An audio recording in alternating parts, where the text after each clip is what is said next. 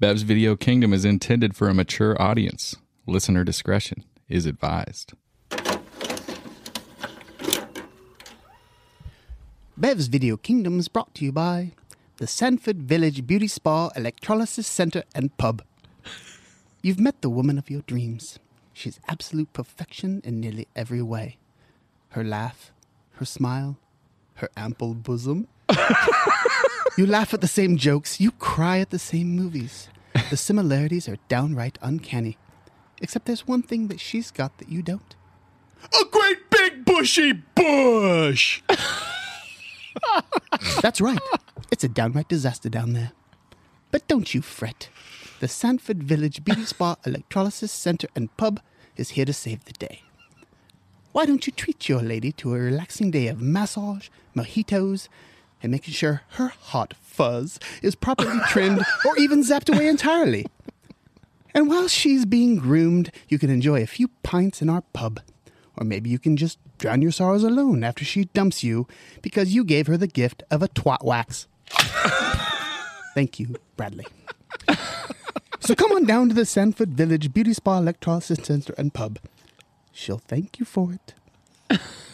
Was that an ass slap with the cup, or was it? What was that? Swear, swear box. Oh! I missed it, and I love it even more. Thank you. You gave me the thank you for putting Thank the money you, in there. I thought that was either like an ass slap or the sound of wax like pulling pubes out. Of. If you watch the movie, it's a swear jar.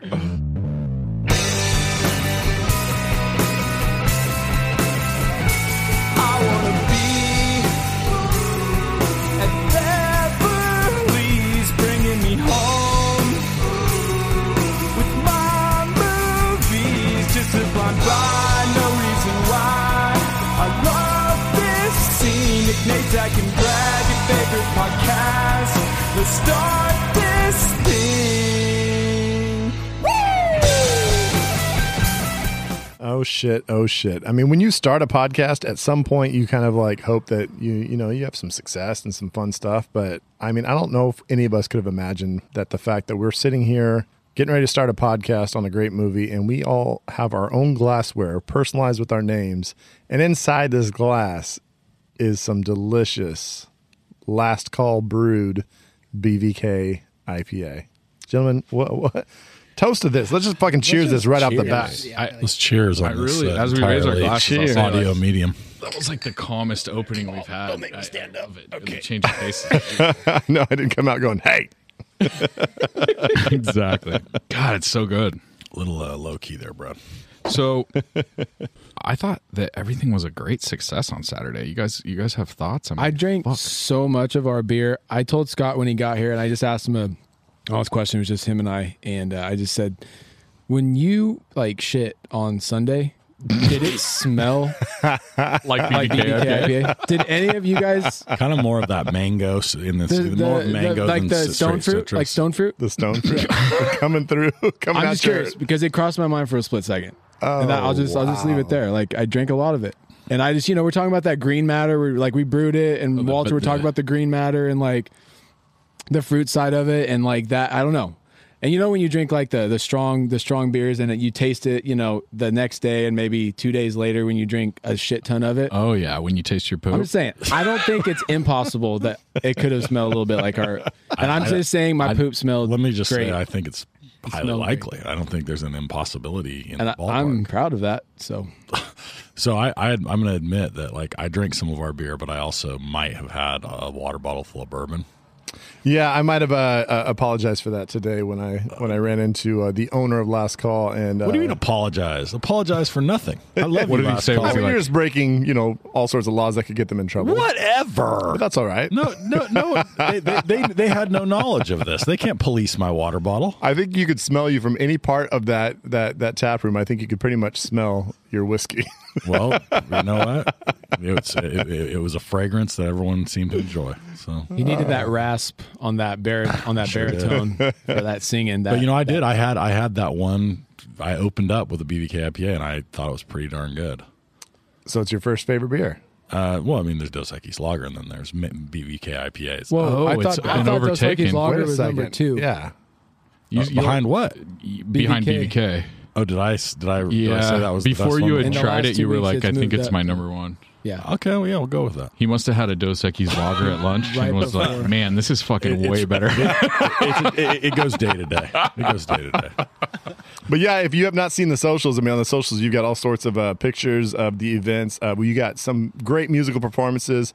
Um, the audio is not going to be the best because the uh, the au- the acoustics in uh, the last call when you got a bunch of people that are loud and rowdy drinking BVK IPA, it's not the best acoustics. But you know what? You've got some great music from from Scotch Beck as well as Nate and Zach jumping in and doing a wagon wheel. Trem- tremendous. Nate's live debut, That was my first uh, As a my live musician. gig. Yeah, and you killed it, bro. Sounded great. and you did an awesome job, man. Thank that you. was it Yeah. was it was awesome, and, and a lot of props on the socials there. Uh, but yeah, it was a great night, a lot of fun. There's still some four packs left. Uh, we went through a shit ton of them, we, we had them. They drank a lot of that beer. but there's there's some left. I mean, you can still get it right now. So, so by my math, we made three thousand five hundred and ten beers, and then you told me that they sold like seventy percent of them the, in the first night. I believe something like that. That's fucking wild. Seventy percent of like the cans. Yeah, that's what we of those told. cans, that's that's what I was told. So we maybe killed. I'm wrong. We killed one large, like a real, like a large keg. Oh my god. started the next one and sold like seventy percent of the cans, Well- or two thirds of the cans, or something like that. Sixty six percent of the cans. I mean, we all left with a flat. Yeah, I had yeah. a lot. Well, I mean, there was a lot of cases going out the door. Yeah. and uh, yeah, so it was uh, it was a good evening. But again, yeah, if you haven't had a chance to taste that, you better get down to a last call before before it runs out. They st- they still got it a week later. So Scotch Beck's here. He's he's sitting in uh, cruise, drinking some of the BVK IPA with us. So Scotch, this was your first ever solo Yes, it was. show, was it not? After many many of after decades of of professional musicianry. If you if you had to guess Yeah, I how was many gonna say. flying blind shows you've ever played, Oh Jesus. Or or shows period because you play with some other bands. That's too. true. That is true. Yeah. Um, shit. I mean, yeah, it, it's easily thousands. I, Oh, wow. I, I, Oh, I would oh, say for sure. maybe um, because there was a time when we were playing a couple hundred a year easy. And I've been doing this for a long time. Thanks for saying decades, asshole. when was the inception of Flying Blind when you started playing your first live shows? I saw them at, at the high, Houston High School, I think, at a rally. Um, That's the live show. so, when was that? So our very, very first day as a band, we played two shows the first day. that's, that's perfect. Of course, okay, this is back when we were an acoustic band, and but the first party was a it was a backyard party for a 50th birthday, and then we played at uh, the junior high for radio days. Oh, they did um, like their whole concert, and we like I just happened to see Miss Webb. And like, hey, we got some music we made. Check this out. She's like, "You want to play a concert?" I'm like, "Uh, sure." First day ever, we're in front of all these people that were like they had to see their kids and all their you know trumpets and stuff, and we're like, "Hi, we're flying blind," and start so playing what songs. year was that? That was '93. Oh wow. Yeah. So we're talking about So I mean, Decades. I, I did say decades. Sorry, bro. I uh, know you didn't have to say it out loud. I meant I meant true. yeah, if it was you said there was little kids there Well, I mean, because that could have been me and Nick. you, you, you might have. but but the, the crazy thing is that you've you've played guitar, you play a little bit of piano, you you play a lot of instruments, Right. and yet this was your first ever solo act. Wow. yeah, I mean, I've played by myself on stage for like a song, but never like, hey, here's me and here's me playing, you know, my music. Well, you, you play with yourself all the So I, time. oh, He plays with himself on stage occasionally. Yeah. Uh-huh. Depends on depends on if Andrew's around. You know? oh yeah. Hey, so so so how did it feel to do? I mean, was it did it feel like nerve wracking? You know what? It was. It's crazy. I was telling my friends about this. Um, like we said, it was an amazing time, amazing party. A lot of people just having an awesome time. There's a table of people in front of me that I nobody knew, and they were just there for a birthday party, and they were just getting hammered, and and so a lot of talking. And in a way, like if I I envisioned it beforehand, and I thought, man, if people aren't paying attention, whatever, it's probably gonna freak me out. It's probably gonna suck. I'm probably gonna get all bummed out. It was the opposite. It was weird. It actually made it easy.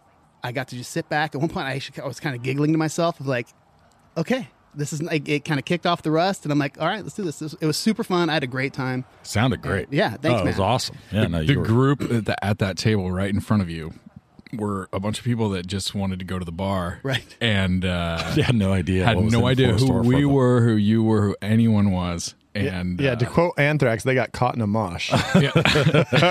they were they were in a whirlwind real quick, and they were being they were being loud. They may or may not have been told to shut the fuck up a few times. They did not appreciate that either. Well, one of but, them, uh, one of them slipped me a five five dollar bill in my pocket. no Really? shit. Yeah, gave me a tip. No, that's what I'm saying. Like, I think Oh, I think it was all love in the room, and, Yeah. and even though it was it wasn't the best situation for for playing some some some nice acoustic music, at the same time, like everybody was having a good time. Dude. That- yeah, that's all Matt. I, I definitely I pulled out a couple covers just because I knew the, I had to read the room, and so you know I played the outfield. And, Oh man, I got yeah. I was That just my- about to I say, love I that remember one. So Yeah. I have a recording of it on this uh, this this memory card, and I was actually worried because I got home and I had the the case for the memory card, and there was no memory card in. it. I was like, "Fuck, did I drop that or did I lose it?" Like, It's happened. I was a little bit worried, but no, it's in the machine, so I can actually take that home. I'm, I'm gonna check it out tonight and see how the uh, the acoustics. Oh, you haven't listened to any because we recorded the entire evening. I hit record at one point, and then when I came back, it looked like it must have got unplugged at some point. But I'm Oh, hoping, I'm hoping that it made it through. so never mind. So who knows what we got? I We'll love see. that. It's one of those. It's gonna be either a great surprise or it's gonna be like, oh shit, I guess it went off quick. So we we had we, we, we, we made a bunch of T-shirts uh, for the event, which we sold some, and we've got some left. So we've got uh, we've got T-shirts that say BVK IPA on them with the label. We've got our traditional ones you've seen uh, us wear with the Bevs logo, and we've got tank tops of each of those. So um, we're going to charge like twenty bucks for local pickup. I think twenty five for mailing them. So if you hear this and you want it, just hit us up on a socials, direct message us, or email us at Bevs Video Kingdom. Uh, They all look real good. Yeah, they look all look real good. They're very soft, nice shirts. Yeah. So so so so hit us up and we'll we'll send them to you or we'll bring them to you or we'll let you pick them up and uh, so get your shirts while they last. We don't have a ton, so if you want them, uh, hit us up soon. You're, you're burying the lead here, Nate, and that is that uh, before the show, Brad, or before the night, Brad texted everybody and said, We need to figure out a plan for selling the t shirts. and I was like, Yeah, we really need to do that. And then we got there and just got drunk, and we literally We sold sold, like, did we? sold Because we people sold like came and were like, "Hey, I need to buy a T-shirt. Where can I buy a T-shirt?" We didn't have them set out Yeah, or yeah. anything. But I It mean, was- Yeah, we did a very poor job of marketing the shirts. and then a few weeks before that, we were like, "Let's buy 300 shirts. We're gonna sell all these shirts at the show." yeah, we that's, that was that do was it. some some bad planning on our bet. But the beer was delicious and people had a hell of a time. So I think that's really all that matters. And you know what? We're gonna continue making some uh, some good pods for you. So tonight we're going to jump into the movie Hot Fuzz. Edgar Wright, uh, the second of the Cornetto trilogy. It What? was a It's a trilogy. a very loosely tied together trilogy. This, this would be with Shaun of the Dead, Hot Fuzz, and uh, The World's End. So those are the o- Seth unofficial. Rogen movie. No, no, no, not the the the. No, this, is, the end. or whatever it's called. Oh God. this is this is one with all uh, uh, Nick Frost, Simon Pegg. The same the same main characters are in each of those three. Gotcha. movies. So, Edgar Wright, one of my favorite directors of all time. Uh, just a, a a genius when it comes to mixing music, uh, uh, uh, interesting editing, fast pace, funny, clever dialogue. A lot of good stuff comes out of these movies. Uh, he's his major releases. He's done Shaun of the Dead, Hot Fuzz, Scott Pilgrim, Adventures of Tintin, Spielberg movie, uh, The World's End, Baby Driver, Meet the Sparks, which is a documentary about uh, a band called the Sparks, and Last Night in Soho. And as Zach and I were just texting earlier, uh, he is also now um, scheduled to possibly do a adaptation of The Running Man. While you might not, you might know it as the Schwarzenegger movie from the uh, the early 1990s. Uh, it is very. Uh, Zach was saying vastly different from the book. So the book is written by this dude Richard Bachman, who you may or may not know is uh, one of the pen names of Stephen King. So Stephen King wrote this book under the Richard Bachman moniker. Um, he was just he. People were saying that he was putting out bullshit books, and people were only buying them because it was Stephen King. So he was like, "Fuck you! I'm gonna write some." He wrote four books under uh, Richard Bachman, and they got super popular. And he was like, "Oh yeah, by the way, that's me, motherfuckers," which is such a gangster move. That's amazing. What other books do you know? Did he? Oh, I want to say like the Dead Half or something like that. There's there's four of them. I ah, the, really the only one that I really dug. I've read all of them, but the only one that I really dug was The Running Man, and it's much different from the Arnold Schwarzenegger movie, which is like kind of this. It's set in like a dystopian future in the book, but they kind of did it where it was like a like a like an arena where where the guy's inside of an arena and these guys are trying to hunt hunt him and he has to get out. In the book, they're just basically like, "Here you go. you're you're you can either you can either die or you can win the grand prize by living for however long. I think they have he has to live for like seven days. He gets like a day head start in just in the world in this like dystopian future. Well, in the movie, he doesn't. It's not. He gets thrown into like a. It's not an arena. No, it's, Seems- it's an arena. Yeah, no, I they shoot him. They shoot him into like a real world kind of. It's a large arena. It's like they.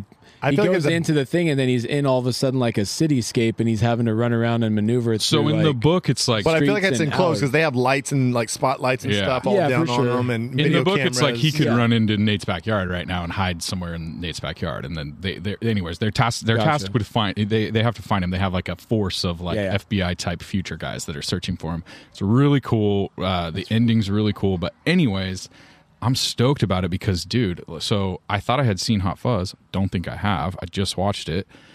I really like Baby Driver, and Last Night in Soho looks exactly like a movie that I would love, although I have not seen it yet.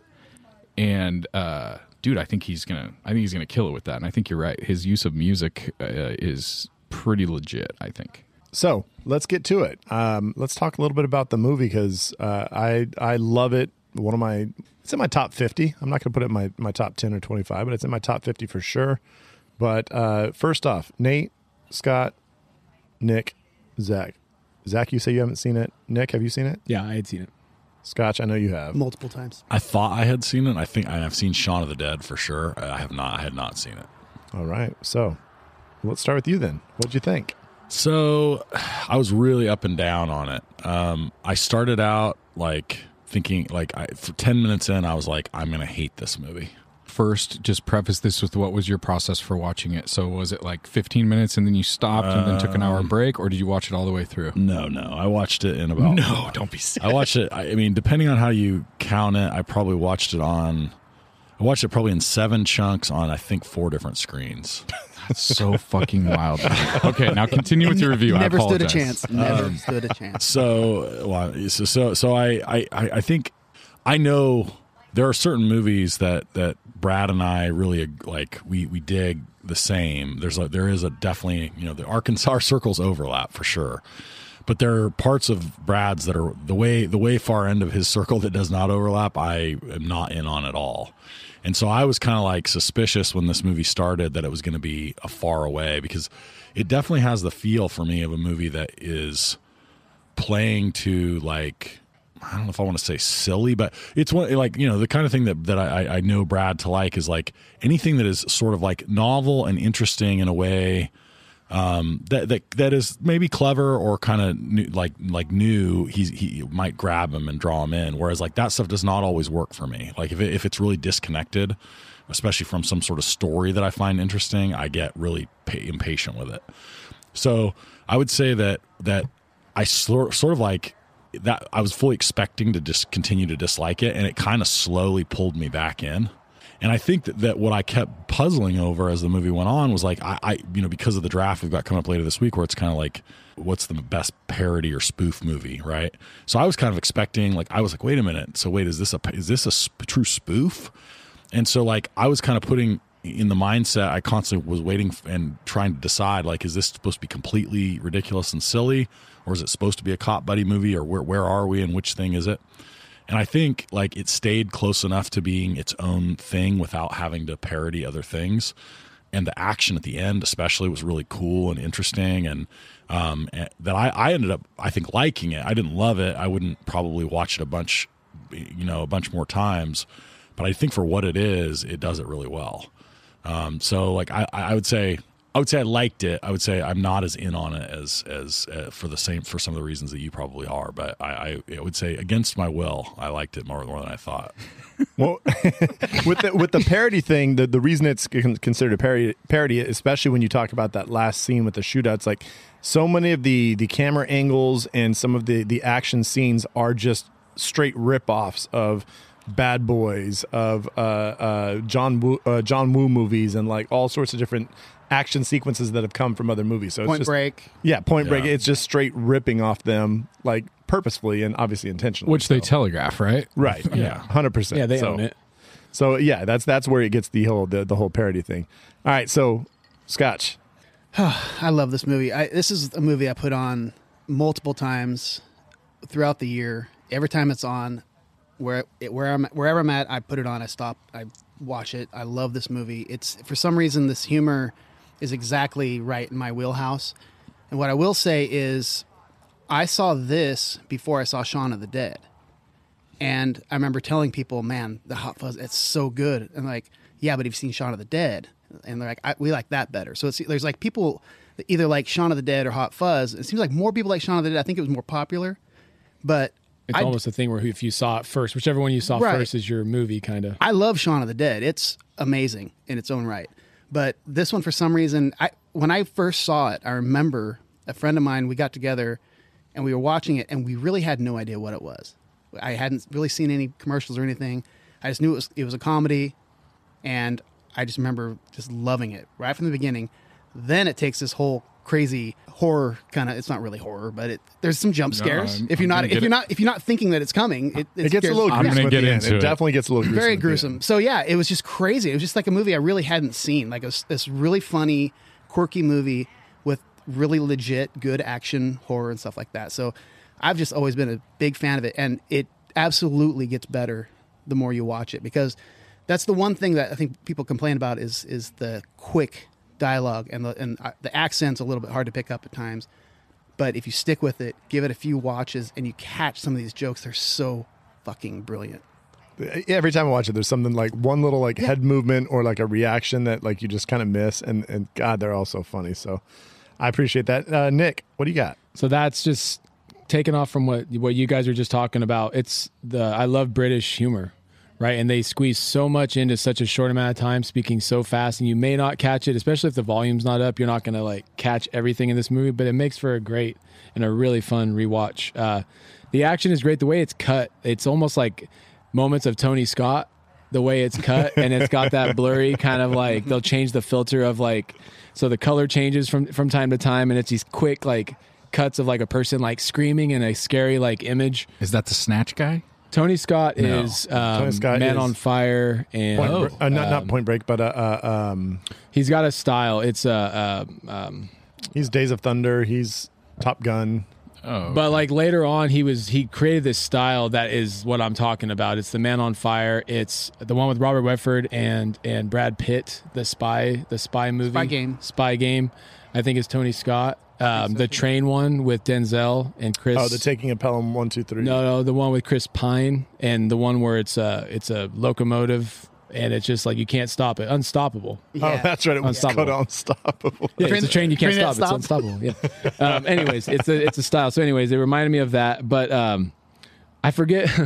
so, trying to watch this movie uh, with the baby asleep in the other room, the volume goes from low to high so many times throughout the movie. Yeah, it does. I was sitting there and I would I'd have to like it would jump to like a to like an action moment. I mean, Jesus, and I'd they have to they go turn it over down. top with the gun sounds Dude, and all the sound effects. This is also a problem when you're watching it on eight different screens, uh, sometimes in headphones, sometimes on a Yeah. computer where you're supposed to be uh, doing 100%. your other job. It's, it's a problem. So never appreciate, never thought of that, never appreciated it before now. Um, a semi semi complaint, but not really if you're actually just watching it, you know, from start to finish by yourself. But love the pace. I've watched it multiple times. Out of these movies, I'm Nick Frost is my guy. Who's the skinny one or the bigger one? He's the heavy set guy. He's fucking Dude, great. He fucking kills me. He's funny as when when Simon Pegg is telling him the story about his like uncle or his dad, and he says blah blah blah, he's like sounds like a great guy, and he's like he actually got busted for blah blah, you know, for blah blah. What a cunt! and his like delivery, just oh, his delivery, is so, oh, or the it's uh, immediate. or the little dr- the book. You know, he's, Oh, he's doing yeah. the, Oh, the yeah. flip book, Yeah. That's all I use it. and he's like, "Dude, "That's just incredible." Wait till you see the one on the other side. Yeah, I want to know what the other side. I know we don't get to see it, but the, the thing about a, a guy like Nick Frost is like there's something to be said about actors who don't look like your typical actors. That like when they're really good, it's always amazing. It's like because it almost seems like just like a, just a more normal person, and you're like, this guy's giving great deliveries. He seems real, and and he doesn't look like your typical Hollywood star. Some of the stuff that he does, I it's at the top of me laughing as hard as I ever have in a comedy. Moments like that. There's a there's a moment um, at the world's end where he's where he's messed up, he's drunk, and he punches through a window. Like I don't know, like it's just these little things, his movements, like when he's doing like the goose call. Oh yeah, it's a swan call. just his his face, his movement, his body movement, it's perfect and it's it's straight comedy every time. And I can rewatch it just for Nick Frost. And so to me, I, I go back to it for for him and then just how fun the movie is. The mixture of gore, the the jump the jump things that you're not expecting, and then just the connection to the the old buddy cop action movies. Love it all. All right, Zach, we saved you for last. Uh, Okay. So I thought I had seen this movie and I was like I was like, all right. And then I checked it out on IMDb and I was like, damn, none of this seems familiar to me at all. So I'm not sure what movie I saw, but I was like, I've seen this British comedy cop Bad Boys 2. movie. No, I was I was gonna make that same joke, Brad. So, so yesterday I'm gonna watch the movie. I'm like, all right. I told these guys I've been drinking two tall cans of BVK IPA in the evening, so I drink my two beers, and my kids haven't come home yet. And then Grandma had them, and then she called and she was like, "Hey, I'm gonna keep the kids for a couple hours." And my wife looked at me and was like, "Let's go get dinner." We go to dinner, have two or three more beers, shots of tequila. By the time I got home, it was it was all over. There's no way I'm watching Hot Fuzz. So I go to work today, and I'm at work, and I finish all my work by two, and I get off at four, and I'm like, all right, I got two hours. I'm gonna watch Hot Fuzz right now. So I put on the headphones, and dude, the sound. So I've never watched a movie with headphones on ever. I thought that I got the new Apple uh, earphones that don't fit your ears very well, like we talked about great. last yeah, episode. They, they look stupid and they fall out a lot. but they do, and I hate them. The but sound canceling. they're fucking sound canceling, and oh no, they have, that weird spatial t- audio. Yeah, the spatial audio. So the makes- me very out. beginning of it, when dude is like walking down that big long hallway, and there's like the bass going, and like something happens off to the left, and I can hear it like off to the left in my office. I literally thought that it wasn't coming through my headphones; that it was playing like through the speakers on the computer, and I was like, "Oh, something's something's not right." I turn it off. I turn it back on. I realize, "Oh shit, this is like really immersive and really cool." Might be my new way to watch movies. However, the beginning of this movie while the editing and the music and the sound design were really cool, I was bored as fuck. I was like, okay, this slow is a long It is a setup for this guy getting sent. I didn't think there was a ton of laughs in the beginning, maybe the first 40 minutes. So I only get through 40 minutes at work. And I'm like, all right, I drive home. I get home. My wife's there with the kids. She's like, I know you got to watch the movie. Like, I'm going to make the kids dinner. Like, just put the movie on. Let's watch it. My boys come out. My daughter comes out. I've got five, nine, and 11 year olds, right? I've watched the first 40 minutes of this movie and I'm like, you guys want to watch fine. this movie with me? This is totally cool. Literally seconds later, there's a gruesome murder, like right on the screen. My daughter's like, "Daddy, what is happening?" She's like, "I don't want to watch the rest of this movie." Jackson's like, my my oldest son's like staring at the screen, like enthralled. What what was the first murder? The Axis. Axis. Oh, yeah, dude, the my older son's like really into it. My my youngest son's like on the couch, not talking. He's just like looking around. He's like, "Daddy, is this? You said we could. uh, Can we watch this? Are we watching this?" so they watched the whole rest of it. with me. Oh my god! when freaking the guy gets crushed by the by the thing. So basically, like I split it up perfectly to where the first forty minutes, and I came home. I told I told Lisa I was like, I don't love it so far. Like nothing's really happening. I don't know what's gonna happen. It's not very funny. And then immediately it got into the the murderer plot line, which hadn't really been foreshadowed before, and and there was a bunch of funny stuff. We were laughing, and like some of the murders were so over the top. You know what I mean? My kids loved it when the guy freaking kills her with the the shears. Dude, it was not like a super appropriate movie to watch with them, but they liked it. And I ended up, I, I told, I told her after it was over, I was like, man, again, like Brad's movie. In the beginning, I'm like, this movie's terrible, and then at the end, I'm like, I freaking liked it. Um, I don't know. It was. It, I thought it was a. I thought it was a fun ride. I. I, I knew that. Obviously, I. I called the the the chunky guy was gonna do the shoot up in the air and not shoot his dad. I was like, it's obviously gonna be his dad, right? Because he's gonna care.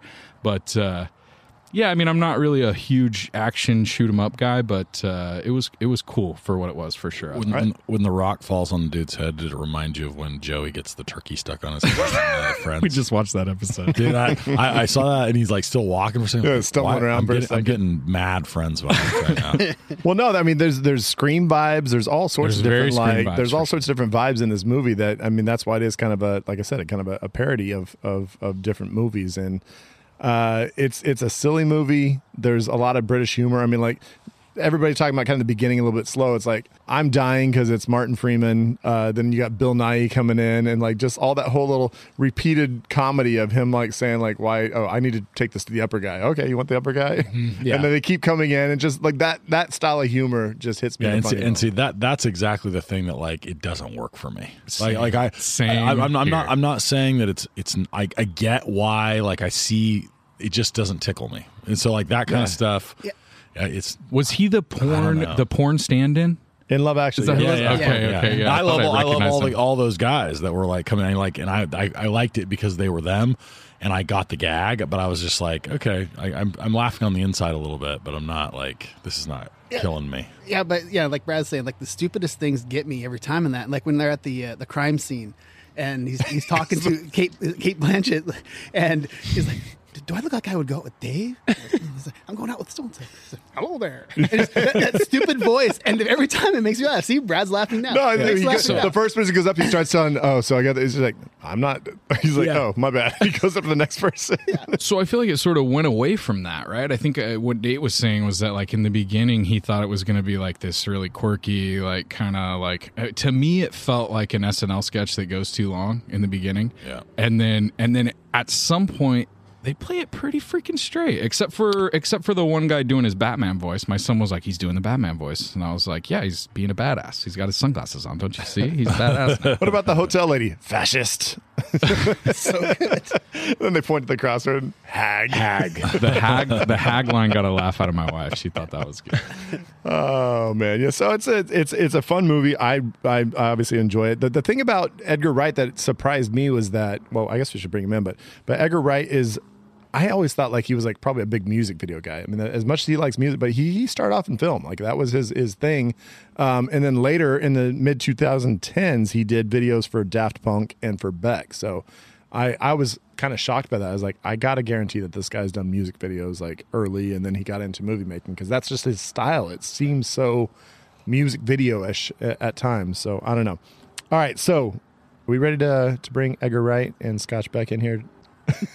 Hey, Scott. Hey, Yeah. So Hey, bring thanks for them both in, in. Thanks for coming in already.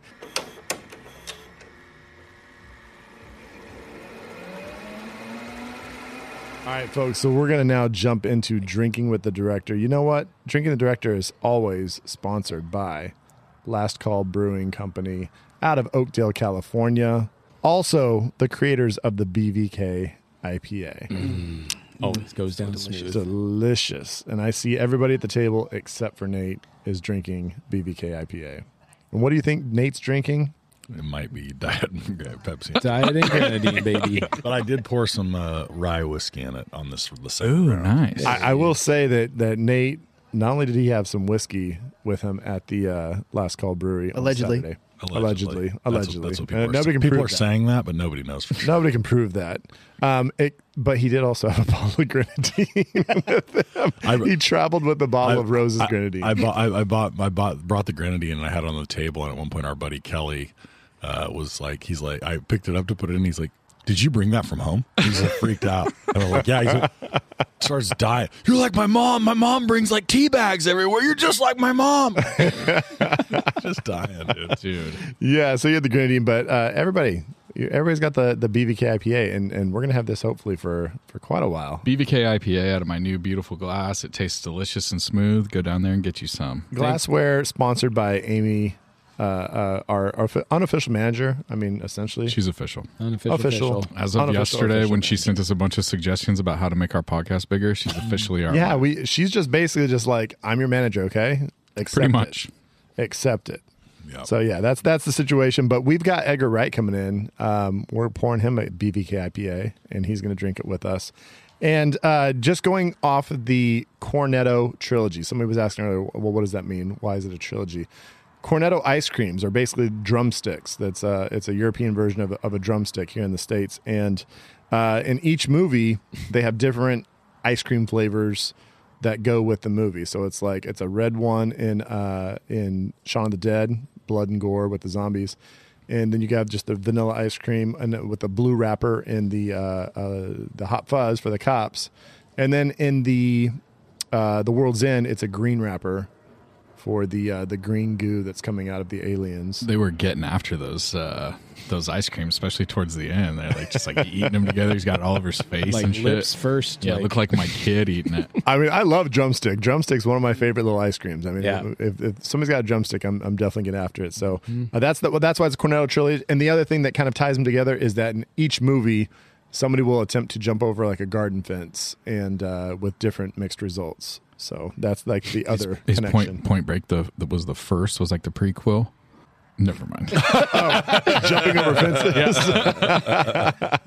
Lost it for a second. I, I, I, I didn't get that, but that's all right.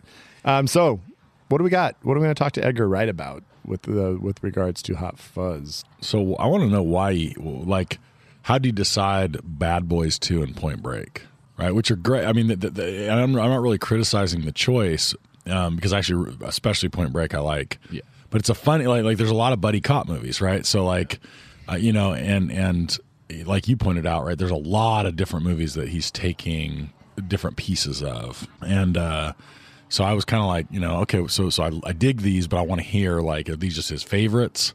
Are these the ones he thinks epitomizes the genre, right? Um, and but I will I will say like it's that that part of maybe that might be my favorite single part of the movie is the inspired like overt explicit like connection with the other movies in the genre, right? Where he's like, it's not just like a hidden thing. He's like, oh, well, we should, we're cops. We should watch these movies. It also reminded me of our buddy Lieutenant Dan who we had on the training day pod, and he was also our guest judge for you know best buddy cops. And he, his entire judging strategy was what movie made me want to be a cop. Yep. Which I it, it was kind of a funny. You know, I had that thought. I was like, yeah, you know, cops want to watch cop movies too. You know, like in And some he ways it was a it was like a spoof thing, but it was also like I could be like I could totally see it. You know. Didn't Dan say it was like that Stallone movie too? Was like the Oh, main Tango one and Cash. Yeah, Cash. it like his Kurt main Russell, one. Stallone for sure. Um, I do love that when Nick Frost when he brings uh, the Bad Boys Two and Point Break, he's like, "Which one? He's like, uh, which one do I want to watch? No, which one do you want to watch first? Brad, can you identify with that? I was I have written down talk to Brad about showing people movies because I've been this that guy and it never ever works out like I think it's going to. It's we've we've talked about showing people songs and then they stop paying attention and you're like, no, no, the g- good part's coming up. Like just listen. well, well, Nate knows I'm the king of YouTube videos. oh, oh yeah. The YouTube videos are To- probably to, my. say, to say the king of it is one of the biggest understatements of like The emperor. the, you're like the I'm the, the the the Adolf Hitler of YouTube videos. Oh, oh if we wanted to go there then sure yeah we'll go with that I'm like, you must watch this now. That fits you are the, into I, our I would have said you're the fascist of uh, yeah, The let's go with Fascist. All that. right. I'm the- but that on brand for the movie I will say in college, uh, when I've got when I uh, the South Park movie came out on DVD, I pretty much had people on a constant like loop coming through my Rotation. coming through my apartment. We were partying and stuff. I was like, I'm putting on South Park the movie, and we're watching it. And so I think I swear I watched it probably like 26 times in a row. Did it work out good? Were people like, yeah, this is hilarious? It was mixed bag. I mean, there was there was times it was great, and there was times it was. It, it how, didn't how, go mu- over how so much well. of this is a litmus test for you where you're like I want to know if I like this person I'm putting this on Oh, 100 percent. Like if if you're getting the humor and you're just dying with it, I'm like, okay, there's my people. And if you're not, I'm like, okay, well, your, your sense of humor sucks. Damn, I'm a little afraid Nate's not going to want to be my friend anymore if I keep shitting on his romantic comedies. if that's his litmus test, he's like, definitely, maybe he's my litmus I don't test. think I don't think Nate, I don't think Nate holds it against us. That's not my litmus test. Nah, not at all. Not at all. No, my I'm I'm kind of the opposite. I'm like I like this garbage, and I'm going to be surprised if any of you like it. Yeah, I got the dude 90210 DVD I box lo- set for love me uh, 90210. for his birthday. Are we a, are we a Dylan or Brandon family? What are we? What do we got going? I here? was always Brandon. Yeah, I was probably always Brandon, although I, maybe I wanted to be Dylan. You know what I mean? Oh well, It's it's it's tough to make that move, but once you do, you just fucking drown it in pussy. But you know how Nate always says I, I like to be I like to be a little bit different. I was always a Tori Spelling girl. I mean, guy. Jesus Christ.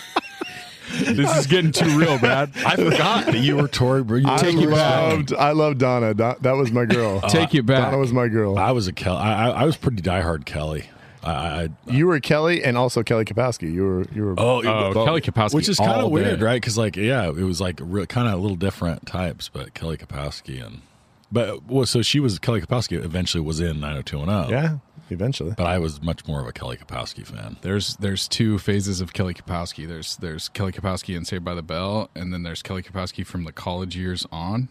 Yeah, She, uh, man, the college years, Kelly Kapowski. did her right. Jesus Christ. She got learned up. I'm not. Never mind. I take it back. she was a nice, a lot less nice uncomfortable to think about her. Yep. Nice. She was a nice, nice young woman who was. uh Anyways, Oh man! So, uh, any other questions? What do we got? What do we got for Edgar Wright or about this movie? I in wish that there was more buddy cop ref- like references, like Nate was saying, or just cop references. Like I was, you know, watching it for because I've seen it multiple times. Like you know, squeeze a Die Hard in there, even though it's not buddy cop, even though it kind of is. Him and Carl Winslow were Carl pretty Winslow. tight, and they never they didn't meet each other till the very end.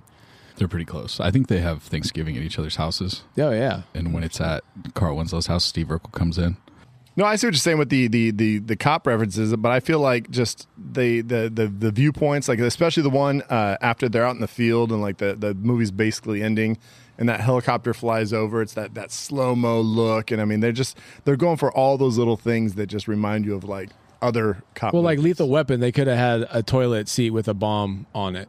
ah, yeah, there you, You go. know, they could have they could have been on that a little bit. I just it would have been the know, loo though. It would have been the loot. Yeah, Yeah, Yeah, yeah. We've been talking about the loo. considering the the collection of film he had, like that's what I loved Yeah. about when he when he when he shows them the collection. First of all, they walk into the apartment. It's like, so how long have you lived here? There's boxes everywhere. It's not even like five unpacked. but he opens up the closet and it's like this perfectly organized, beautiful collection of DVDs.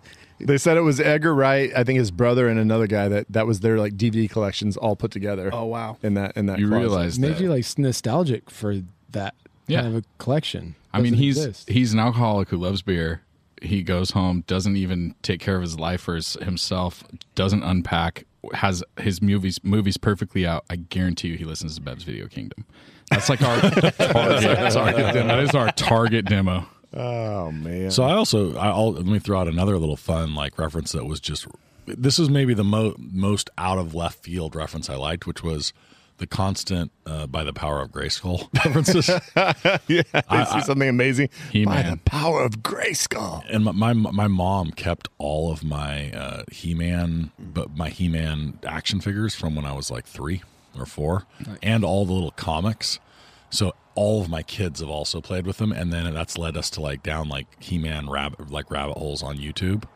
And so Power of Grayskull has been around for me for a really long time, and I, I dug it. I was like, I don't know why you're saying this, and it makes no sense, but I, it's not does not fit in the cop genre.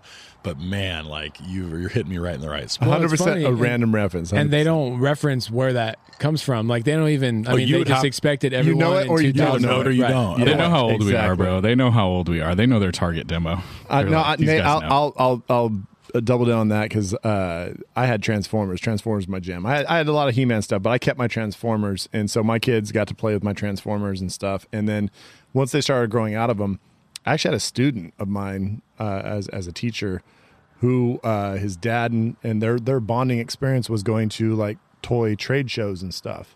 And so he was one of my favorite students, really worked hard. He was going to go to Pacific, where I graduated from. So on the last day of school, I brought all my old Transformers. and I was are you like, fucking I was like, serious? dude, nice. I was like, you can have these. I know you. I know you have loved the collectibles and stuff. I got some old shit here. This is all you. So I gave Right, I gave that's- him all my old Transformers. That's pretty nice. I don't know what I'm going to do with my He-Man stuff because uh, I actually have the like the the Skeletor castle where you it still you has the talk into working the- microphone. Oh yeah, yeah. It had that. shit It would give you that works. echoey shit. Yeah. Yeah, and, like- and, and but Zach, I'll say on my story though, I, I kind of felt you know like Andy when he's giving his toys to Bonnie, like you picked in the draft last week. Oh, like, amazing I pick kind of that felt wasn't like that. I was appreciated by the like, I was like, all right, dude, here's here, look all these pieces. You know, those go together. Those go together, and Oh, you got to show them a little bit. Oh no, no. Yeah. So this one it sticks a little bit, so you got to press it in. exactly. I was giving them all the little pointers and stuff, but uh, it was a it was a cool moment with a, one of my favorite students. So I want to shit. piggyback that when we're as long as we're talking about nothing that has to do with the movie. So my thing was Star Wars. Always Star Wars. I had a shit ton of Star Wars guys, and I remember I had them all like packed up up in my closet, and like I went to college, and I like told my dad like, "Hey, this is like." Gonna be my retirement right here, so don't be touching my Star Wars guys. And I was just sure that these fucking Star Wars guys that had all the paint rubbed off of them had been played with a million times. They're like discolored from laying in the sun. I was like, these things are gonna make me rich one day. And then uh, eBay became a thing, and I became a grown up, and I looked up like the price of my fucking shitty little guys, and like one brand new in the package was like twenty six dollars, and I was like, like my worn out mother sunburnt. fucker. But we're talking like I was 35 when I did this, and that's when I was like, okay, these are worth nothing. All right, I guess my kids can play with them, and I let I let my kids play with them. But you guys are fucking good. You got to people. categorize it as a slightly patinaed Star Wars action figure. I I'll think be then like, you that's what you're missing. You're just missing that magic Yeah. word. renowned artist Nick Brown uh, browned these so that they look like uh, so they look like they've really been in the Battle of the Clones. They've been browned. I mean, Nate's gizmo, Nate's gizmo with the uh, blue goatee might go for. Uh, I, I, a- a I've never penny. looked up my gizmo, but if that thing is worth anything, I'm gonna start scrubbing that blue goatee right off of it. Oh, your gizmo that's ate a blue popsicle. Uh, and, and, and, it, and now, let me just say that thing Uh, that I thing's a think, little worn. I think it found Cookie Monster, and you know, that's, I'll just leave it there. is that a Smurf cum joke? Is that, is that what that is? All right, do we got other questions for for Edgar? He's a great dude. He seems like a really fun guy. Uh, all his interviews are, are very personable, and and seems like he's just a cool person to hang out with. So my thing is that I feel like okay, so this is going to sound bad since I haven't seen the other two movies in the in the ice cream cone trilogy. But what I'm going to say is that like I don't necessarily love the straight man. What's his name? Pegg. Simon Pegg. So he's not he's not great to me. I feel like the the bigger guy just kills it and his like expressions, he looks like to me a grown up second grader. Like everything that he does, he's like excited about and he's just like He's got kind of the, the big British teeth and stuff. Man, yeah. really, really funny. The other guy was kind of forgettable for me. I liked when he like made the switch and was like, "All right, now I'm going to be a badass." I liked that like story device, but I don't think he necessarily he wasn't necessarily funny. Is he funny in the other ones? Is he, plays a funnier? similar kind of the straight, the straight, the straight lace dude. Yeah, you know, he's he's definitely. I mean, that's the whole point of his character is he's the straight laced best cop by the book. Eh, but at, at, what I love about this at the very end, when they're they're all doing the paperwork or whatever, And he's he getting all finally silly. loosens up. Yes, exactly. And so it's like it just took him a while, and now he's kind of back in it. And it was funny to see him loosen up. I did laugh several times at that like sequence with the with the guys kind of like just being like kind of like a good coworker, like a team player type guy. I liked that because it was such a difference from his normal character. So, so you haven't seen Shaun of the Dead? Dead No, I haven't. Yeah, so he's he's more of a an aloof kind of fun loving. He's not definitely not as straight. uh, in- But so I think you would like him better. But I mean, he's still straight, and and Nick Frost is definitely the the super doof in that first one, but he's a little bit more fun in the first one. I guess I, I, I got some commentary on that when, when we get to Body Bag. Is like I I have some issues with Simon Pegg as far as his characters throughout this little trilogy. I guess I thought he was going to be really funny. Like everybody talks about how funny these movies are, and I guess he just he just didn't have many jokes. I guess really. well, I mean, he, he, he delivers though like some great punchlines. Because I mean, he'll be like, uh, he's like, oh oh yeah, she's a police. wo- We don't call them police. We call them police officers. Well, how long have you been a police woman officer? just like the way that he sets them up constantly is like with these like funny little just yeah, he's setting it up. yeah. he is. yeah. He's the straight man he's for straight sure. man. Yeah, Yeah. and and and it, and it it works. I guess. I just I guess I just I went into it with the preconceived notion that they're like a comedy duo and we're gonna be like really funny, both of them. And the one guy really really brings the comedy to me, and the other guy was just kind of there. But Simon Simon Pegg also writes though too, so it's like well, I there mean, you go. That's I mean there, that's the you thing. explained it. And if you're going to be the straight man and you're not super funny and you write the shit, like then you get to be that guy. What do you got, me? So some of it though, like so, so I was kind of asking the movie, the, like how he chose the movies, partly because for me, if I want to take like the, the closest thing to this in, in its own way, in a couple different dimensions, it's Dragnet the movie. So I was a pretty big Dragnet fan, right? Like if you're going to take a real homage, right? And it's like the classic. You know, they're not quite right, but it's it's Joe Friday who's the really like straight and narrow cop, not quite as like elite as as the. Is that that's just the facts, ma'am? Is that Yeah. okay? Exactly, and then Tom Hanks plays uh, play, plays uh, Streebek, and so it's kind of a like you know, and, and they also end up that movie ends up also having this kind of like a a little bit of a like a weird you know like goat work you know goat sacrifice you know kind of weird you know seancey thing. So there were some things that remind me of it, but I wonder whether or not some of it is just that unless you're really in tune with that British humor, the straight man doesn't play as well.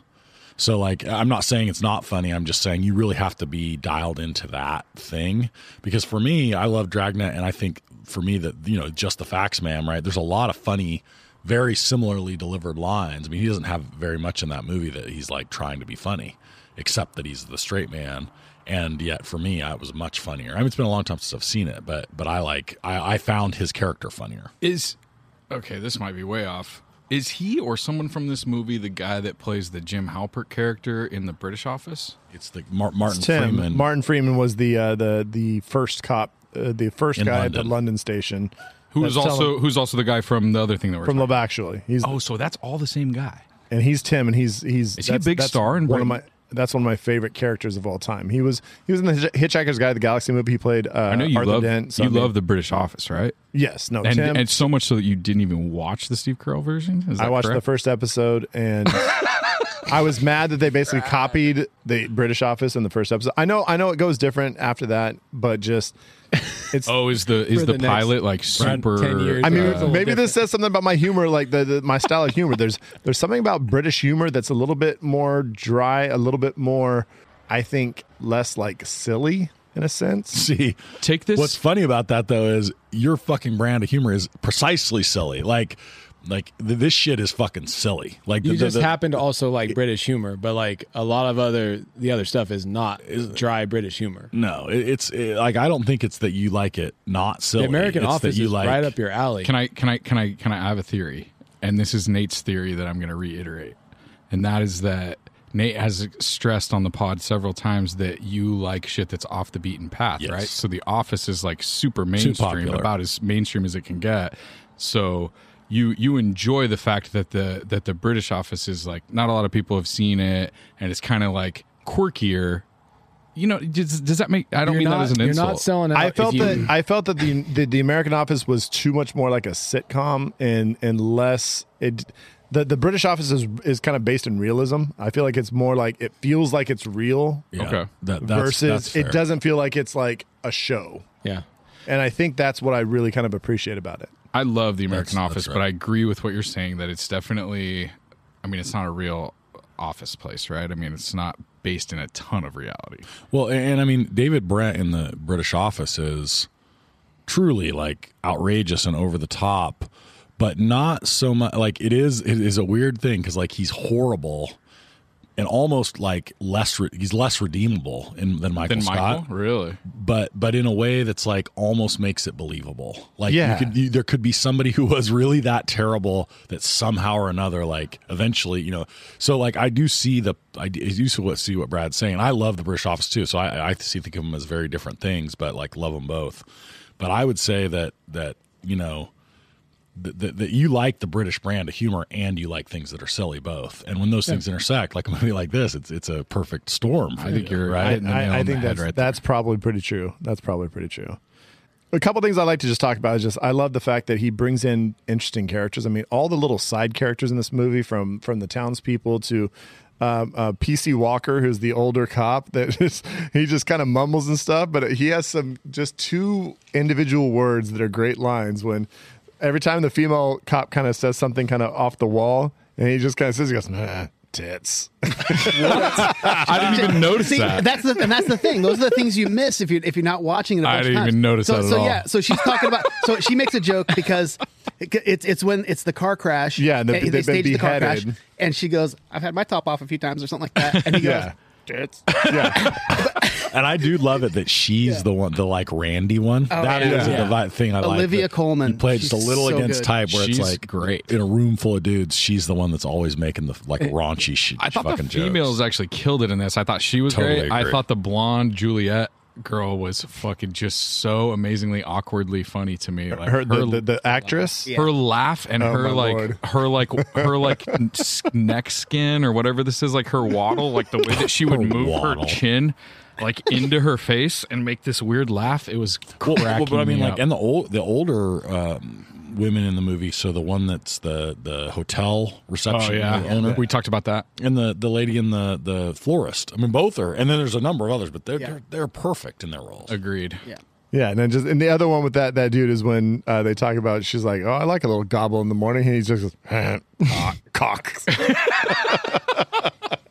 I missed both of those. Yeah. And then the translation scene where, where they have the, the farmer dude that's really bad, and then he translates it to the, the mumbly dude, and then he translates it to, to Nick Frost, and then he translates it to Simon Pegg. yes, I suppose. That's what I'm saying. That kind of stuff is uh. absurd and silly, but just like I said, that's that's what hits me right in the heart. Has the chunky guy done? I keep calling him the chunky. The chunky- I, I Nick say Frost. it over and over. Nick Frost. Nick Frost. Has he done anything else besides these three movies? Like he's fucking awesome. I really like him. I want to watch him in something else. What That's- else is? I, I should have probably done a little bit more research on Oh, Nick no, Frost. I'm putting you on the 'cause spot. I know I didn't do enough research on him to uh, to look into his IMDb. Did any of you guys see the? um Because I, I didn't. It was it's Simon Pegg and Nick Frost with uh the Alien. Um, That world, that world's uh, end. Seth Ro- Seth Rogen. Seth Rogen is the Paul. alien. Is the Paul? Thank you. Yeah. Uh, did you, anybody see that one? did not. Yeah. Did not. I saw. I did see that. That was bananas. Okay. It was Yeah, a good it's- one. eh. No, n- not bananas. But it's in a good Simon way. Pegg and the other guy And Nick too, Frost. right? It's Yeah, them, yeah, it's them yeah. together. But it's it's yeah. Um, Just no ice cream. yeah. I, I I can't think of anything he's been in. I'm sure it's probably a lot of British stuff, maybe TV and, and things like that. I'm- I, I wouldn't I wouldn't doubt that he's probably been in a lot of stuff. I just really liked him. His like boyish like giddiness for everything. Just fucking. Oh yeah, just gung ho the entire dude. time. Like, he was he's just great. he's he's he's good natured in that weird way, pretty much the entire time, and, and it's a lot of fun. So a question I have for Edgar Wright is, as far as the next movie, The World's End, what what does he think went wrong with that? Because personally, I didn't like that movie at all, and I loved the first two so much. And it was bad, huh? It was. I, it, it, the I didn't like the characters. They were just super straight. I didn't like Simon Pegg's character. He was just so over the top, and it just he they, none of nobody was really likable to me. Honestly, I've only seen it once. I started watching it again the other night, and I couldn't keep watching it. Oh. And but I'm wondering if like does he have any regrets about keeping it a trilogy and, and maybe going with this the two? Um, and I, I was curious on how it actually did, and I looked up the box office numbers. I actually I was surprised because the box office of Shaun of the Dead was actually lower, so it, that one gained cold. because that was the first one. That was the first one, so nobody knew about it. So, but I hear everybody talking about it, so it must have just gained a lot in the Well, I back mean, end. this went. Uh, uh, uh, Hot Fuzz was eight million budget, eighty million worldwide. So, Right, I mean, right. Just killed it It was in killed it. American theaters, right? I mean, Oh, it, was, it 100%. came yeah, out yeah, here. yeah. Yeah, No, it was it was popular. big time. Yeah. Yeah. so Shaun of the Dead only made thirty million worldwide on a six million dollar budget, which is still good. But um, but then the the Yeah, the back end on it must be crazy. the World's End, twenty million dollar budget and only made forty six million. Well, legit, legit story is is uh, my friends from Cali True Crime. They got me for my birthday with a, a blind buy. They got me Shaun of the Dead long time ago, like right after it come out. They got me the DVD Shaun the Dead, and they're like, "I think you're gonna love this." And I was like, "I've never seen it."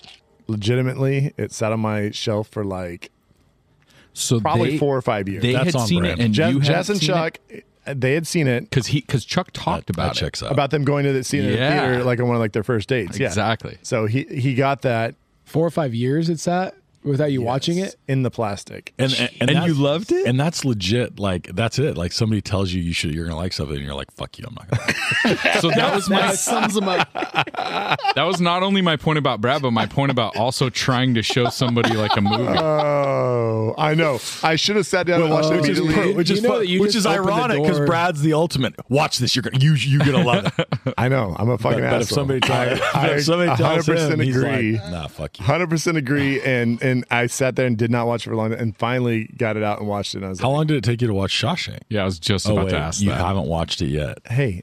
That's gonna In happen two weeks, in a- Two weeks, I'm gonna watch Oh Shawshank God, Redemption, two guys, for the first time. Oh, two weeks to the I fiftieth. gotta reminded. That's the fiftieth episode. I got to make sure my dude is going to be available. Yeah, we got a great. Jack's got a special guest for us for the Shawshank. That's our that that, that one's going to be our fiftieth episode, I think. The, the the movie Yeah. the movie pod will be 49, and the draft, Draft episode for that will be 50. Oh, that's perfect. And then my buddy's going to judge the draft, right? Yep. Yep. Oh, dude, how wild is that? Fifty episodes. I know. Fifth. And Brad, more importantly, Brad's going to watch Shawshank in theory. I'm just stoked. I 100% will watch think it. we should like. I mean, maybe I'll lie. sure- Maybe I'll just decide to lie. Maybe that makes some good pod. But Remember that one time when uh, you know when Andy uh, like decided to join the the. I'm like, oh yeah, dude, all, all the prison scenes they were great, right, guys? They had those prison scenes. I can't believe cool. they never got. You're still not going to watch it? Is that what the joke is? Oh, dude. I just almost ruined the movie. Yeah. All right, Keep it down over there. Don't talk about the shower rape scene. Anything else to talk about, Richard? Uh, Richard Wright. I was just going. I'm Uh, going yeah, if, Pink we're, if, we're, Floyd. if we want to move on to Richard Wright, I got some. I got some things. I know, but you're thinking of teacher Richard Wright. I'm thinking of Pink Floyd's uh, keyboardist Richard Wright. Oh no, I, that's what I was talking about. I want to know about that one riff and that one song. Oh, look at Scott. She's bringing out the Pink Floyd. I love it. All right, so um, let's uh, get rid of him. Yeah. I just want to say very quickly that I love Baby Driver. I thought it was good. Hundred percent. I love Baby Driver. Great movie. Yeah. yeah, it was all right. I want to watch it. I'm saying I want to watch it with my headphones on now that I've done like part of one of his gonna go movies. back and my rewatch his entire We can catalog. only, you can only too. imagine that Edgar Wright's gotten better and better with his sound editing and, Yeah. like, and like putting things together. Because like this that. was an early one for him, right? and it was like early. the editing was legit, the sound was legit. I liked it more than I thought I was going to like it. And his his IMDb is actually pretty small. Like I mean, he's not putting out movies that often. They're they're coming out every three four years. So he's one of those guys that's kind of just deciding when he wants to do something interesting. So it's uh it's it's been cool. Edgar Wright, thank you so much Some- for somebody showing. get him a pack of the BVK IPA to take. Oh yeah, yeah, we'll, we'll put a four back in his hand as we send him out the door, and uh, yeah, we're gonna be back with some Shag Snag Body Bag. I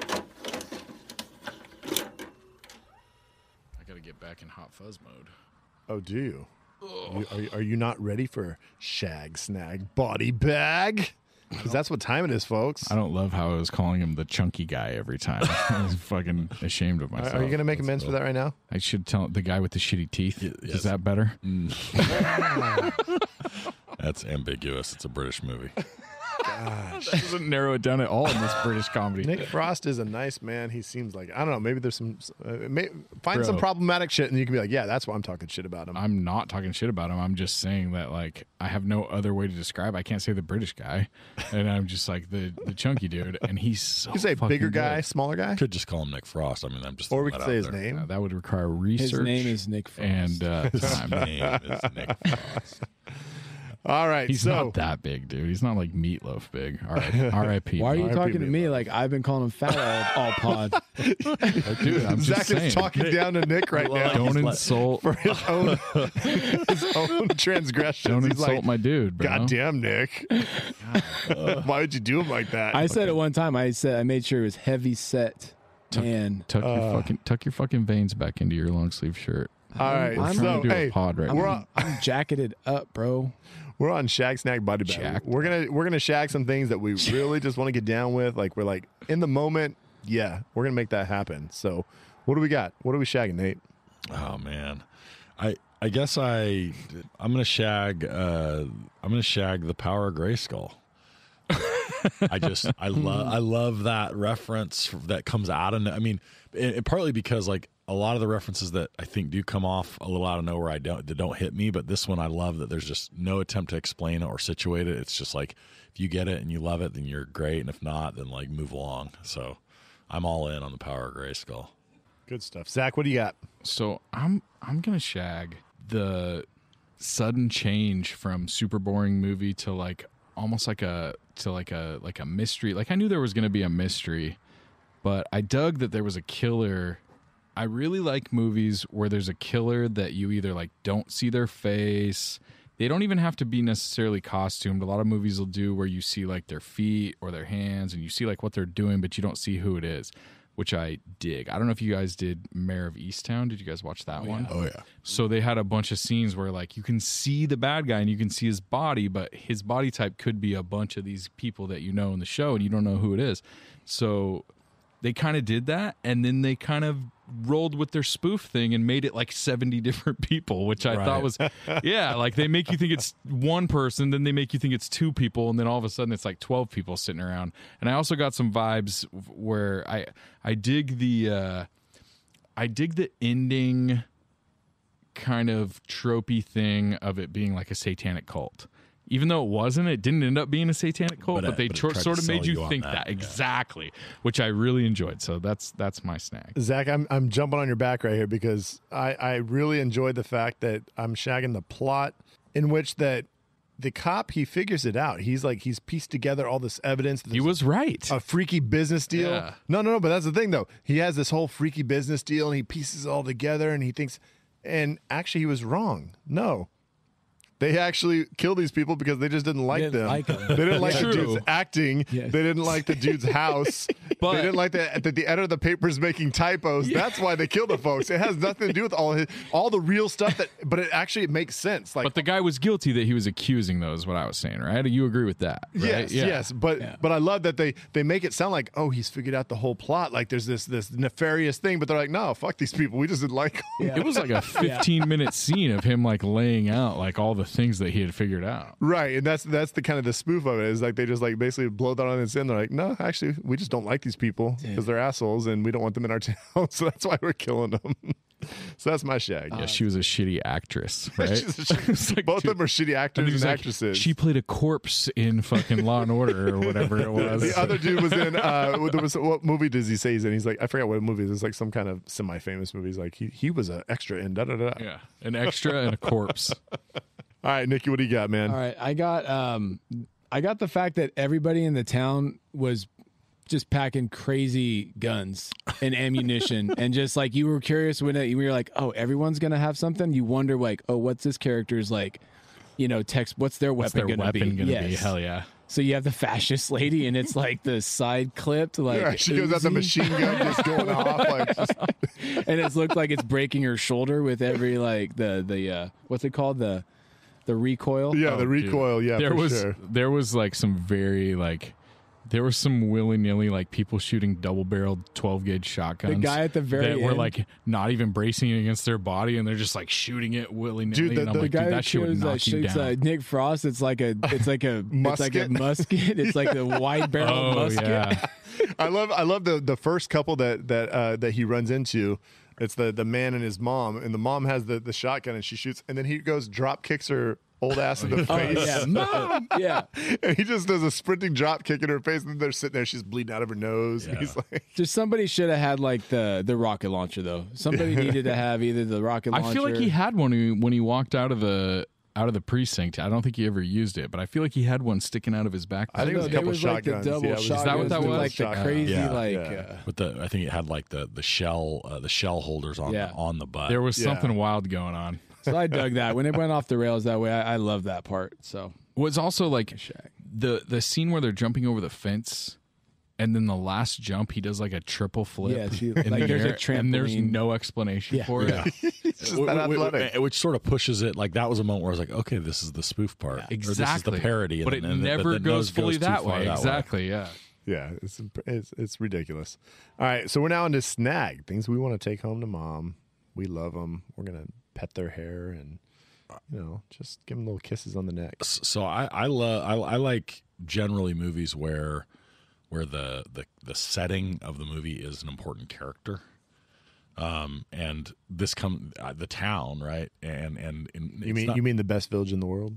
the best village in the world yeah no I mean I, but I would say generally like I'm gonna sna- I want to snag the quaint British village like I I mean I, I dig that and I would say even you know more generally like a quaint kind of European village um, remind me a little bit of like Bruges I, I was just gonna say to you, I was gonna be like, would we consider Bruges kind of like villagey? Yeah. Because we went to that Kinda. one pub and it was just like so like like low Yeah. key and cool, and like the and and, people and, were and, and in that 12-year-olds. way, in that way, right? The movie in Bruges has this, this similar character where the town is totally part of the character in the movie, and so like I, I think, and, and and the thing I like about it is like you know lots of different settings work, right? I mean, like you know, we talk a lot about True Detective season one, Ugh. right? The Bayou is like you know Yes. the, the the Louisiana area, and and that area is such a you know such a part of the the the the a character in the in the in the show. So, uh, but I like I, I, it works for me here, right? Like that's a that's a part of it that's essential and makes you you know want to sort of see more of the town and you know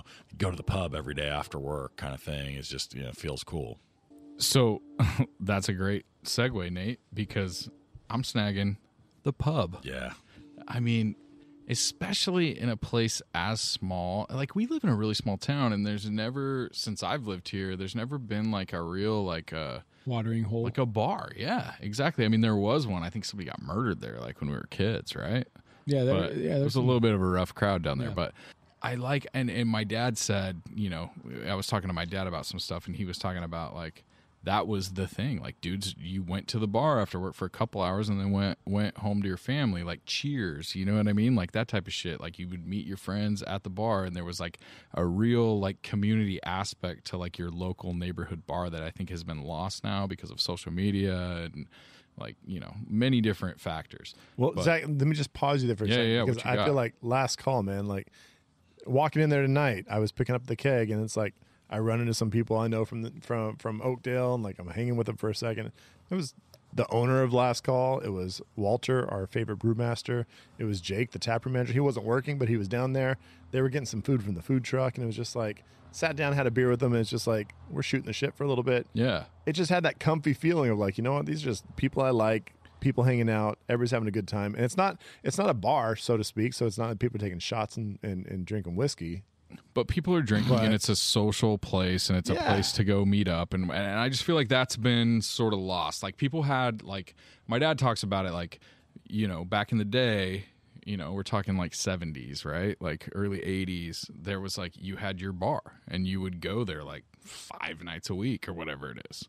And you would maybe there would be chicks there and you'd try to meet chicks or maybe you'd meet up with people from work or maybe you'd just meet up with dudes from high school or whatever it was. And it just that kind of thing seems really cool and nostalgic to me even though I've never really had that I mean we would go to bars when I was a kid but it would be like 99 people I didn't know and like four people I knew. You know what I mean? It wasn't like I was there every night and you would know like the clientele and stuff. I don't know. I just think that's really cool. I mean, it's is the town that we're in right now is, is Houston big enough to have that type of establishment and do Well, they- okay? Well, they've oh, kind yeah. of been doing it with agave, agave azul, the Mexican, uh, like a like a sort of like slightly higher end, seemingly higher end uh, Mexican restaurant in town, and they have really good drinks, like fancy glasses and like cool garnishes and stuff. And I think that like, But, that, but but that's not really the kind of place you're. I mean, you're talking about some place that's a little more Yes. like down to earth, you know, Like a local dive- bar, kinda like, like a a little, dive a little bit of bar. dive bar, yeah, a little bit that's a dive that's bar. what I'm talking about right now. But I mean, just saying, as far as like the closest thing we have in our Yeah. town is going to be that for sure. I know that people from like other towns have talked to me about like, oh yeah, we go out and and meet at Have Agave drinks Azul there, and have drinks and stuff. Yeah, like right. it's kind of like a like not a destination, but They people have come damn to- good cocktails. Yeah, people come from farther away to eat there and drink there. I guess. Mm-hmm. Um, I'm gonna snag Nick Frost. I talked about him earlier, my guy. Um, I've watched all three of the movies of the trilogy. I've seen uh, The World's End, I think, a couple times actually. I like it. It's my least favorite of the three. But again, if without Nick Frost, it's a maybe maybe it's a one watcher even. But I'll, I'll go to any movie that Wright is directing and Nick Frost is in. I'm I'm it's a sold ticket. I'm probably rewatching it at least a few times. So Nick Frost, he kills me, and I don't watch these movies that often. It's been a while since I'd seen um, Hot Fuzz, but even just like I was talking about earlier on the pod, thinking about that part of the World's End and picturing Nick Frost and his body movements, just his comedic timing, his British comedic timing, but then also the mixture of that Britishness with the just the the falling and like the Chris Farley, the Chris Farley in him, like really is is great and it's so much fun to watch and I love just that pure old school comedy that makes you laugh every single time and that's Nick Frost. And he also I think he can act his ass off actually. I actually think he can I think he's got some pretty damn good chops. I was looking at some of the movies that he, he's in and it's not the greatest IMDb really as far as like out, outside of the Wright movies. There's a movie called Wrestling with Your Family. Um, that's actually a fun watch. He's uh, the dad, I think, in it, and uh, he's really good. But I actually think he can act quite well too. So, Nick Frost, that's my that's my snag. I love that guy. Good shit. So my my snag is the director Edgar Wright. Not surprised. Um, one of the most creative filmmakers I've watched in the last uh, uh, you know twenty years or so. Brilliantly mixes music, film together uh, in inventive ways. He's just creative. He like I mean Scott Pilgrim vs. the World to me is one of the the, the top ten movies of all time just because he does just amazing things. I mean, I like video games. I like music.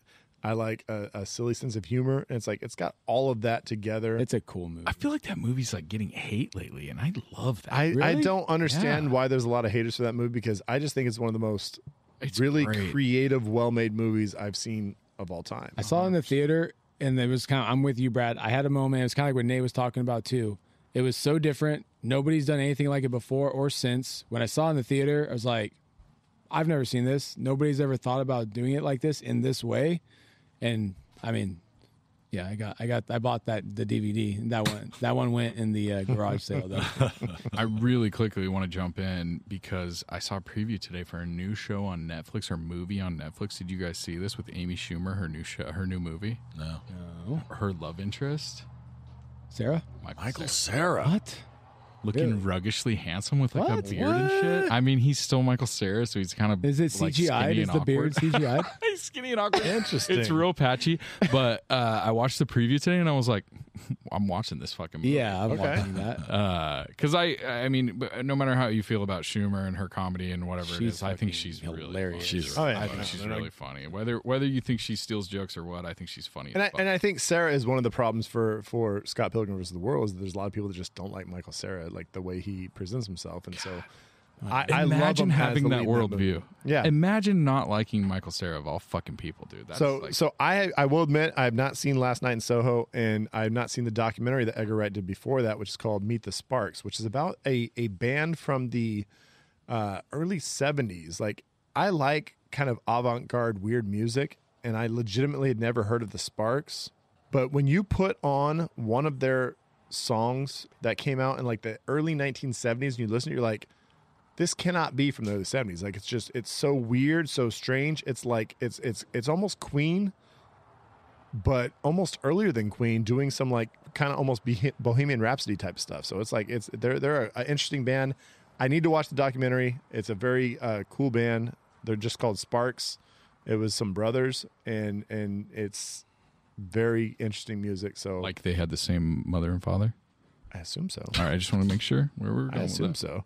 But yeah, it's it's I, I, I got to check it out because Edgar Wright doing a documentary. I'm like, I, I actually tried to get my brother to go watch it. I was like, I think it's playing at the theater. We should go check it out. He's like, oh, I can't make it. So I ended up passing on it. But I, Is I gotta- Andrew a big Edgar Wright too? Uh, fan? No, Oh, really? I tried to watch him. I tried to show him Sp- Scott Pilgrim, and he just was not having it.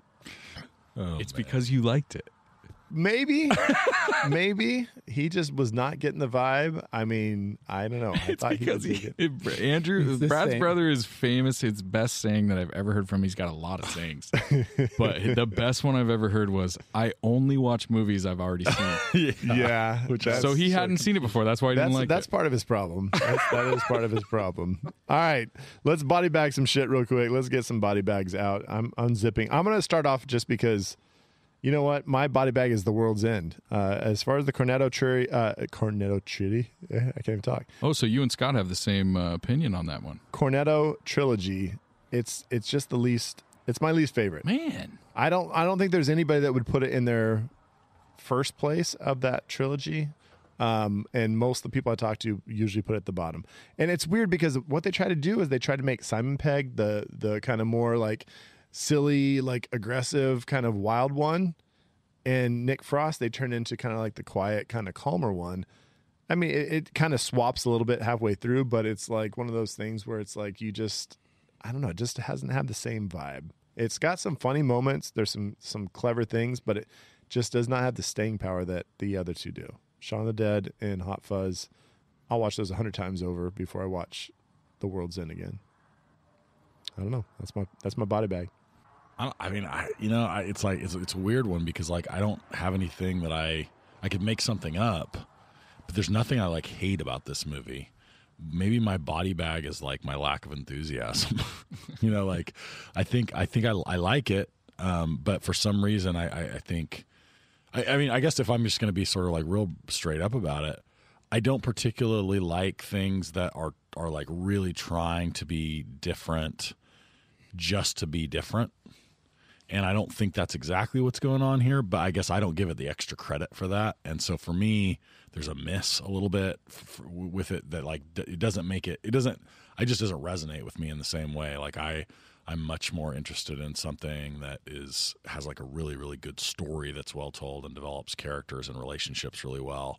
And that's just not what this movie does. So it's not up my alley. Um, I think I'm the wrong audience for it. So I body bag myself. That's what I love about Nate and I being best friends is the fact that like That's he- the opposite of Brad's We reaction. can both we can have absolutely os- oppo- uh, opposite reactions on on on a lot of different pop culture items, and yet I understand where he's come from. He understands where I'm coming from, oh, and, yeah. and we get along. That's the way we make we make I, it mean, I work. talk tons of shit about him behind his back. As soon as he Probably. said that, I was like, man, these guys are exact opposites. No wonder they're best buddies. All right, uh, uh, Nick, what do you got for a body bag? Um, I threw. I got like I guess two little ones, but I talked about earlier the the loud sound editing. if you have little children, Is that Claire's body bag or your body bag? mine now. um, but yeah, Claire probably doesn't appreciate it. Um, but no, I I, that, I joke about that, but then uh, but it actually it's it's crazy like drastic the change in volume, and then it's a little too long. It's a little too long. They drag out. They it's drag out the movie. end for an extra like eight to ten minutes. They did not need. They didn't. I was thinking about it. Why did the musket dude have to come out of nowhere and blow, blow, uh, you know, Nick Frost away and the whole explosion? Why did any of that really have to happen? Zach, I- when Nick Frost ended up living anyways, And there was no big laughs from it. no, and it was just the, The old mine fucker goes anyways off. who was Yeah, watching like- the screens, and we were waiting for. Nobody was really caring about the mine really, anyways, and they that thing is in rubble. Yeah, it was it was a and- vicious explosion. There should have been a lot more deaths, I'm assuming, Right, but right. the fact that you're only worried about uh, is Nick Frost dead, but he he's magically alive. Yeah. I, I agree. I think that that was unnecessary. The ending with him getting spiked through, and then all the the, the mug shots of them. That's a perfect spot to end, and you just I have a happy credits were coming. Yes, I almost turned it off. legitimately. when they were showing the mug shots, I was like, "This is the perfect credit sequence. This the f- Oh, credits are going to come over it right now." Yeah, they and then did there was not- another twenty minutes. I mean, a couple things on that. The the fact that he has the thing stabbed through him, and they just cut it off, and he's just like, "Oh, I need ice The cream." fact they kept it in there was funny. I agree. They leave I that in loved there. that he was still alive. It gave me vibes of Fight Club when fucking Edward Norton Oh, shoots shoots himself through in the face, cheek. Yeah. and he's fucking still alive. The, the Yeah. only thing I that I'll say about that last scene is it does allow Simon Pegg to have that moment where he becomes one of the guys, and so that's the only that's what I love about it. And then So I think you do what you do is you do that scene where they're filling out the paperwork. You skip the part where he gets sh- where And his friend gets shot, and you show that. the bomb go off, Fair and enough. then you just end the movie with all the montage of all the people getting their different mug shots, and then that's the end of the movie, right? But they had to they they fucking Fellowship of the Ringed it, which is little the- extended ending. the fucking worst example in history of dragging the end of a movie out because they were like, truth. "Hey, this movie's over. We got an hour and a half left. Are you guys ready?" I will say, go back to the mine though. When when they first discover the mine, it's out there and they think it's a dud, and like they're just both kicking it, it. consistently, just hitting it with a shotgun. It's like it's, it's a dud, it's a dud. I've got a I, I I I work at a chemical plant and I've got a uh, like a 60 something year old engineer that carries around either a flashlight or a wrench or whatever it is and this dude is notorious for being like we'll be like hey you know this this isn't working correctly and he'll just fucking kick it as hard as he can or like smack it with something and I'm just like what are we doing? Are we trying to break it more? Like, how is this helping? That's how we fix things, man. Oh, fucking wild. It's like an old Zenith TV, TV. But I All right. digress. I'm going to very quickly do my I body. say you got the last the last bag is unzipped waiting. So for I you. got, I got, I'm unzipped. I'm waiting for you. And uh, my body, my body bag is going to be, as I've said previously on the podcast. I spent some time in my younger days as a uh, undercover shoplifter catcher or whatever you want to call me.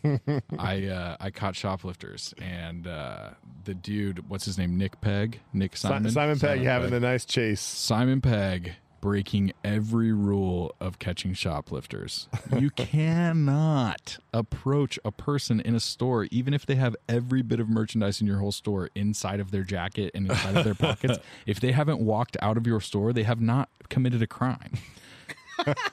And dude, I just like got super anxious as soon as he walked up to that weirdo "Don't guy. do it." I was like, no, you can't talk to him yet, dude. He hasn't walked out of the store. He's gonna get fired. He's gonna lose his job, and fucking Target's gonna get sued. That's what's gonna happen. That's my Good body. stuff. Solid, solid. All right, folks, we've we've got the uh, the Shag Snag. We've closed up those body bags, so let's go on to Cameo. Kick a cameo. That's my new. That's, my new tagline. That's how it goes now. That's all the bumper you need right there. Yeah, we're just that's where we're going to record when we uh, go over to Scotch Beck's Cantina uh, uh, pretty soon here. So cameo, we had a couple former formers, formerlies, couple farmers. farmers, them farmers out there on the cameo. That's just a bit. Cameo's like, we got to pivot, man. Nobody's fucking buying our shit. Let's go to farmers. Let's find the, the most interesting farmers. Scott's got a big following on Cameo. so uh, there was uh, the uh, the station clerk, the guy that says like they don't tell me anything, and like he's kind of like uppity about it. But there's two of them. It's the same actor playing two different characters. That's Bill Bailey. He's a, an English comedian.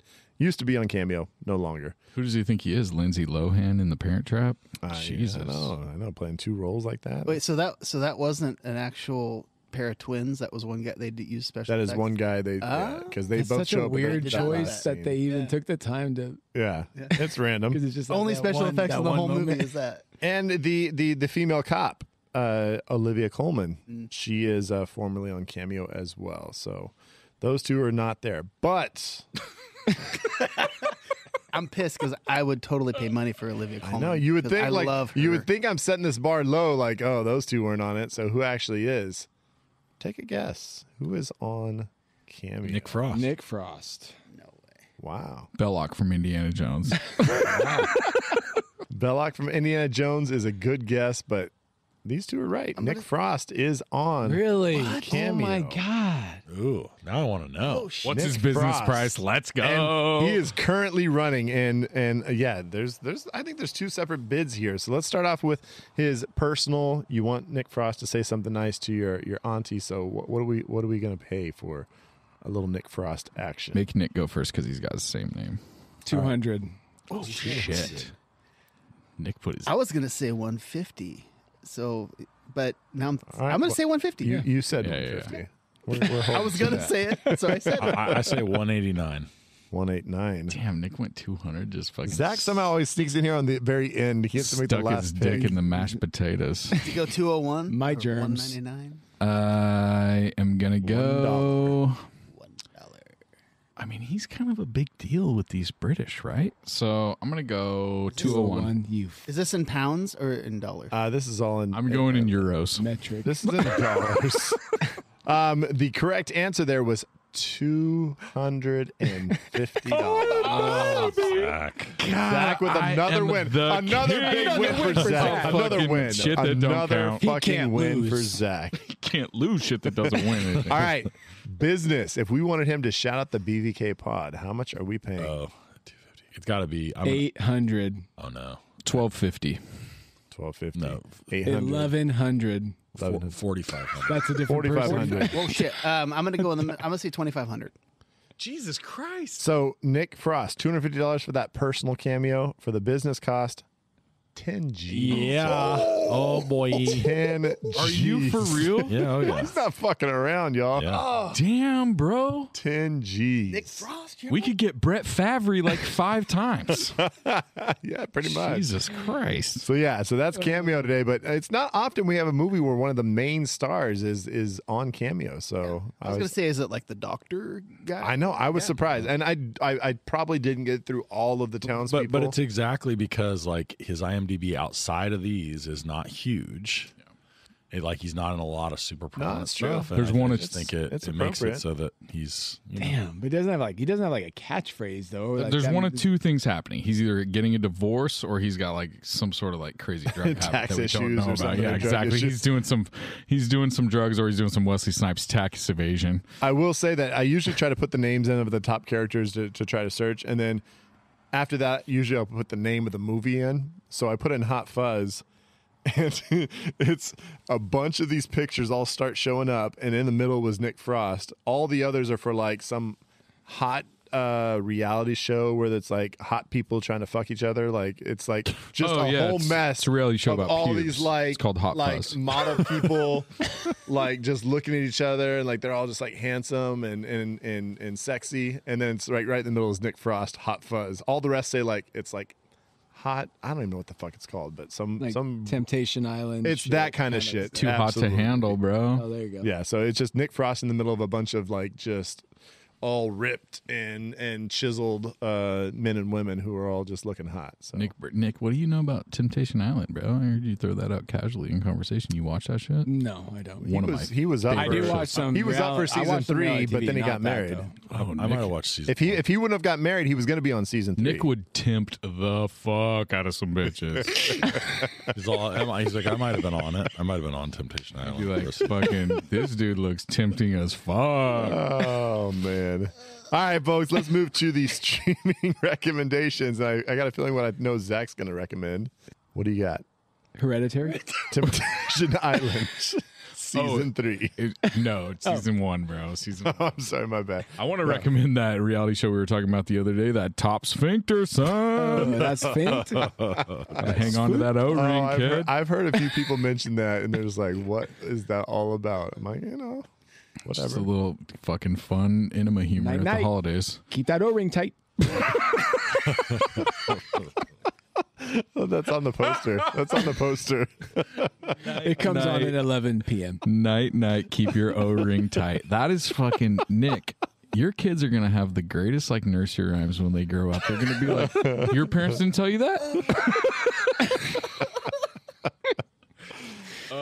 if you if you haven't noticed before, when we start ending Bev's uh, episodes, That's the drunkest time. that's when if, you, if you're not listening all the way through, you really need to because that's when You're things start going for off a the rails. And if treat. you're into that kind of like just shit show, just keep following. Just you go literally. go that extra mile to get to that hour and forty five minute mark. Go to the bottom of the tank. So, so my streaming recommendation is going to be a movie that I haven't seen. Can I do that? Well, yeah, absolutely. Because I you lose points, but yeah. so so dude for so long, I I I've got You negative. lose a win. I got if you negative do points it. already, bro. I fucking cost you a win to do I'm it, living on borrowed time already. Uh, so I the preview for uh, last night in Soho is like one of the dopest previews that I've seen, and I've been trying to watch this movie for like two freaking months, and it's twenty dollars to Yeah, rent it's it. gonna be it's gonna be rental very soon. I think. I think it might be this week or when this pod comes out, but it's like in February. I thought. yeah. Um, so yeah, once that thing's available for three ninety nine on iTunes, I think that we should all go see it because man, dude, and and I gotta say too, Anya Taylor Joy is like one of my favorites. Well, Uh, and the other actress is from uh, Jojo Rabbit. That- Yeah. that- Oh, really? Yeah, yeah. So who's amazing? who I- I plays like think of her, name. mirror image? But yeah, yeah, She's like I think she's the main girl, and Anya Taylor Joy is the mirror image. right. And Right. A- Anya Taylor Joy in in the movie The Witch, which if you haven't seen, uh, fucking god, dude, Or the Queen's, I, I, Queen's I will Gambit. say yeah, oh it's, yeah, it's- obviously it's Queen's had Gambit, mixed phenomenal. reviews. It's had mixed reviews, but I'm still interested to see what I his wanna take on, see it on a real horror bad. kind of scary movie is going to be like. So I don't think so. I think it's a perfect example of a movie where you watch the trailer and you're like, "This seems like a horror movie," and then you watch the movie and you're like, "Okay, where's the?" so maybe it mixes you up. Yeah, and, and I- that's why I people have negative but- feelings. It gives Okay. me Black Swan vibes. Like Well, same yeah. type if of it can be Black Swan, even though I don't love Aronofsky, I'd fucking be down for that because I like Black Swan. So All right, who who else is recommending something? What do we got? So for this one, kind of reminded me, like the the version of this movie that I probably liked better, and it's not you know it's not quite right, but there's a couple of uh, movies with Jesse Eisberg, Eisenberg, Eisenberg, Eisenberg, Eisenberg. Eisenberg, um, that are the first one. The one I like the best of them is Thirty Minutes or Less. uh, is that the one that. with the neck, the neck bombs, It's Kumi- is it Kumail Nanjiani or is it is it with uh, uh or Kristen Stewart? It runs with Kristen Stewart. no thirty seconds less is the bomb's going to go off. Yeah. Is it Danny it's- McBride? Is Danny McBride? Danny in that? Is this McBride, Aziz, yeah. Aziz Ansari? Yes, That's what it is. Aziz, yeah. I've seen that. So, so that one I like quite a bit. The other one is American Ultra. The one is the other one you're thinking of. That That's one the one is- Kristen Stewart. I like Kristen Stewart. and, that. and I like that one quite a bit too. But I would say of the two, I prefer the 30 minutes or less. It's a little bit. I mean, but I, I think of that as I mean, it's it's kind of you know, it has a little bit of that parody feel to it. It's kind of making fun of some of these things, but it plays it straight enough that it has its own story. So it kind of has that same like runs in that same lane, but it's it's very American, where this one is very British. Gotcha. And uh, it- you cannot you can you can rent it cheaply lots of places, but you can't stream it for free. I gotta ask you guys, since to to freaking just be here even longer. What do you guys think of K-Stew? What are your guys' thoughts? I really like her. I, I like her in a ton of stuff. People hate her so much. I don't know how you guys feel about it. We kind of talked about it when we did Adventureland on the uh, on the back pods, but I'm just curious what your thoughts are. What do you think, Nick? I like Kristen Stewart. Yeah, I do Yeah, she too. doesn't bug me. Like it seems like she really people turns hate her so off much. I just way, was curious if any if we had any people that really hated her. I, I really liked her in Panic Room when she was younger. Oh wow, Yeah. I had forgotten that she was in that. Yeah, she was the daughter. And, Fincher, right? and- and Isn't that Fincher? It was Fincher. Yeah. and and it was. uh, I think she had a really good performance. She had you know diabetes, and you know she, Oh, she yeah, was yeah, really yeah. sick, and the whole movie. And so um, I thought she was great in that. She's playing Chris uh, Princess Diana in a movie. and, Yeah. and nominated it's for called best actress. Is It's called she for that? Yeah, Okay. hundred percent. And and I think people think she's got a shot. Yeah, Uh, I don't know. I haven't seen Spencer, but me either.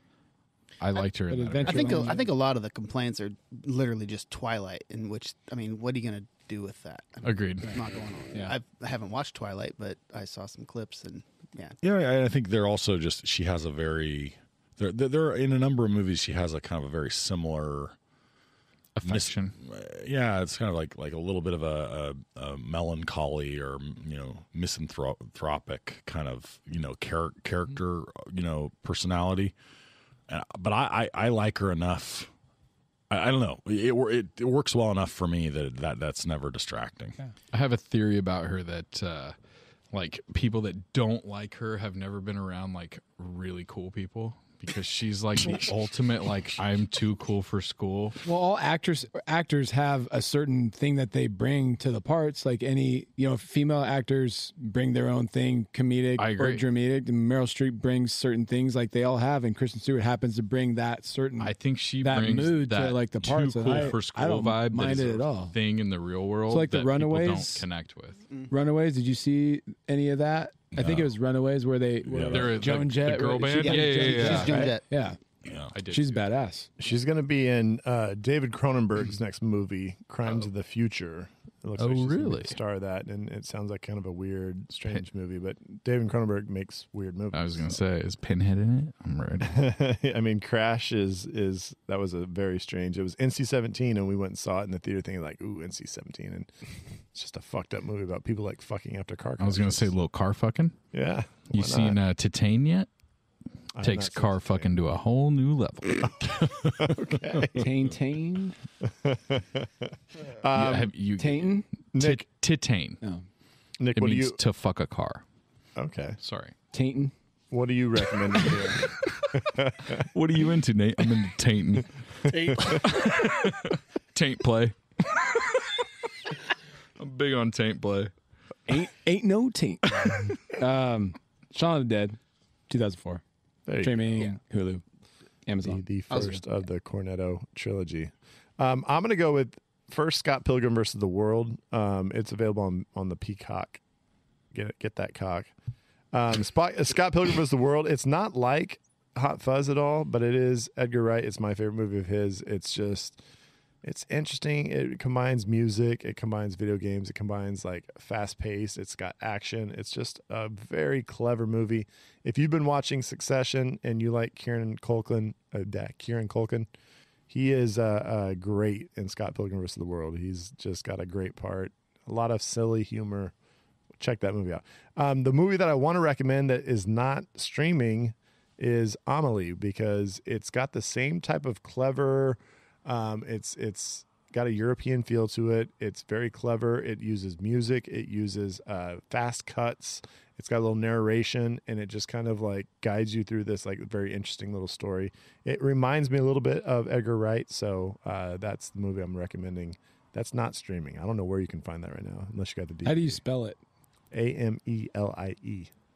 And then there's a I've heard. umlaut in there or something or whatever those things are called. I don't know if think that it's moves an, it. I think it's an accent yeah, there Maybe it is somewhere in there. accent. It's French, but uh, but yeah, it's uh, None Audrey them Tautou, who's just uh, amazing actress. So that's it. All right, um, Scott, you got something for streaming? It hasn't happened yet, but on Thursday there's going to be a draft, and everything that these guys pick, watch that. Okay, you're you're you're. Is that a premonition? That's a premonition. That's a Scotch Beck premonition. When Scott, Because I've been thinking about it, and there's just so many movies that if you like a good, fun parody. Oh, you're talking about like, the parody draft? Yeah, Fuck the, yeah. the whole the whole genre. That's my favorite genre, and I know these guys are going to fuck it up. And um, but yeah. you know we'll see. But yeah, no, there's so many amazing. Like I won't I won't name them because I don't want to give these guys any hints on what to draft. But yeah, there's so many amazing. I movies assume out there's there. going to be some great movies, and I think I, I bet I bet a couple of us do really well. Yeah, yeah. There's probably a couple of you that do really well. We Fucking shall see. assholes. All right, what are we doing? Let's go on to our reshelf. Uh, this is where you're going to take a movie. You're going to take it from the comedy and put it in the horror section, or you're going to just rewrite the ending, make it the way you want it to be. So, what do we got for reshelf or uh, alternate endings? Anybody got something for us? I got a I got an alternate ending where they go the prestige route. So they try and make you think that maybe they're going to do two people, and then it ends up being like twenty people, or uh, which which I dug. But I thought maybe they go the prestige route where there's a twin of the douchey uh, grocery store guy, and he just can't figure out why he can't why he can't like crack this case and this guy's got such an airtight alibi and then that's that's how they figure it Ah, out so it's Timothy Dalton twins. because I think it, I think this came out before Prestige, right? Uh, this was 2007. I think Prestige was 2004. Oh, So maybe maybe my might have come timelines are right fucked. So before maybe that. they I think copied you're them. wrong about that. Yeah, so that's that's not going to work. But no, I, I love it. But I would say my my only uh, just alternate ending is, and we talked about this earlier, is that I really think that they did not need the extra dude coming out with the musket and the whole landmine or the sea mine thing. Like, Oh yeah, I agree. I think we needed to end the movie before that, and I think it's better. I just don't think you needed to have the the whole jump in front of the shot and. I mean that's a that is a staple. I guess that's the final like little cherry on the on the top of the uh, the parody cake because you always have like the uh, um, lethal weapon jumping in front of the, the bullet and stuff. I mean that kind of stuff happens all the time in those buddy cop movies. So maybe maybe that's why he threw it in there. But I just think it was unnecessary. Anybody else? I don't have a rewrite or anything, but I'm just wondering what this movie is like if Guy Ritchie directs it. I think it's very s very similar. Very similar. It's like yeah. His cuts, right? The cuts are very snatched. lot, lot more, There sl- just lot more. They're, some- they're just a lot more slow motion. Oh yeah, A lot more slow motion. You have that really awesome like Irish fiddle that he'll put in mm-hmm. to movies that really pumps you up. Yeah, I'd say I'd say really Edgar gets Wright's jacked. very much more into like pop pop music than than Guy Ritchie. Yeah, I like. I really like it. Right. I just just thought because I didn't have any reshelf or anything like that. I just thought. Brad Pitt plays the old guy that you can't understand what the fuck he's saying. That's a good. Yeah. That's a That would have been fun. Just him, just in the background, just a very small part. Yes. That's good shit. I like that. there we go. Scotch, anything to recommend? What was that? Streaming reshelf? Um, Um, I- wait, I just fucked You it already, up. Yeah, you it's already, all- you're I'm already. I thought we Were, just were you here? Were you here about three minutes ago? when Al- alternate, alternate ending reshelf, Scott. I got I, this movie's perfect, and it doesn't need to be changed. There That's we go. opinion. So it is. It's it. I will say it's not my favorite movie, obviously, but for what it is, it's fucking good. Like it's. I liked it. It- yeah, I mean, I, I will say it, and this is why I body bagged myself because, like, in this movie, I'm the problem, right? right. in the in the relationship between me and the movie, it's I'm I'm toxic. It, it honestly, I, again, I'll go back and just say it just deserves, like, to me, for it to get really good. It it did take a few. I, I enjoyed it the first time, and then I started to love it every time I'd watch it after. so Yeah. that, that's just my. and I agree that it does exactly what it's. I mean, it's trying to do a thing and it does it well. Yeah. like it's just Totally. just not doing my thing. And you guys mentioned two parts that I didn't notice upon my first watch Right. that maybe when I watch it again, I would notice and think it was funny. Those are the little. There's so many little lines quips, that that are yeah. even like even jokes that are said under their breath. I would probably have to do miss. a Brad. The and do the uh, subtitles. Well, and even the Yeah. Andrews, like we didn't helped, talk about the Andrews, and those the dudes Andys. like kill me because The I mustache watched guys. like the the gag reel on this movie is pretty funny is is really funny and those guys are really funny because Yeah. just their faces the one with the mustache well the one with the thicker mustache Right. uh his just like his pissed off, like confused face. It it, it, it cracked up Simon Pegg like multiple times. At one point, he like goes out of the camera, and the other guy's like So- kind of fading out, and then he comes back. in. that's that's that's a gif. That's that's a that's a gif you can Oh, really? use. And I uh, there was a uh, I actually tweeted out there was some some like kind of little like pod type thing, and they were like, "Hey, what what what are you recording today?" So I posted that with that gif of like, "Oh, Oh, we're really? going deep into hot fuzz." All right. But there's it's just great, yeah, because he goes off and then no one's standing there, and then he comes back, he pops back Yeah, in. That's like, so awesome. They have some great lines in it too. I mean, just Yeah, dude, one of Ah. my one of my favorite scenes with them is when they're talking about it's like you you do know there's more guns in the country than in the city, right? And then he's like, "Oh yeah, who?" He's like, "Oh, um, everyone and their mom is packing around here." Like who? Farmers? Who else? Farmers' mums. So everyone and their mom, and it's just those little subtle little lines that are just you miss. But then they do the callback when he first shows up. Uh, he's coming back into the town to clean up, and and that that farmer dude he he he knocks him out. Or he, or he hits him with the car, and he's like, "Mom!" And then she comes up with the She has the shotgun. gun, yeah. Mm-hmm. I mean, they definitely do the little callbacks. and like there's that. Also little- the scene where it gets a little naked gunny where he's like mother and it go, turns and it's like a whole bunch of moms Yeah, yeah, yeah. So, that, so that's another good example. Yeah. Where it's like that's like they tiptoe toward the same as the like flip over the fence. Like they Totally. tip toward to, toward the truly absurd, and then they just back right away. exactly Which again, you know, I think that that's a thing. And Walking it- that it thin works- line. works mm-hmm. well.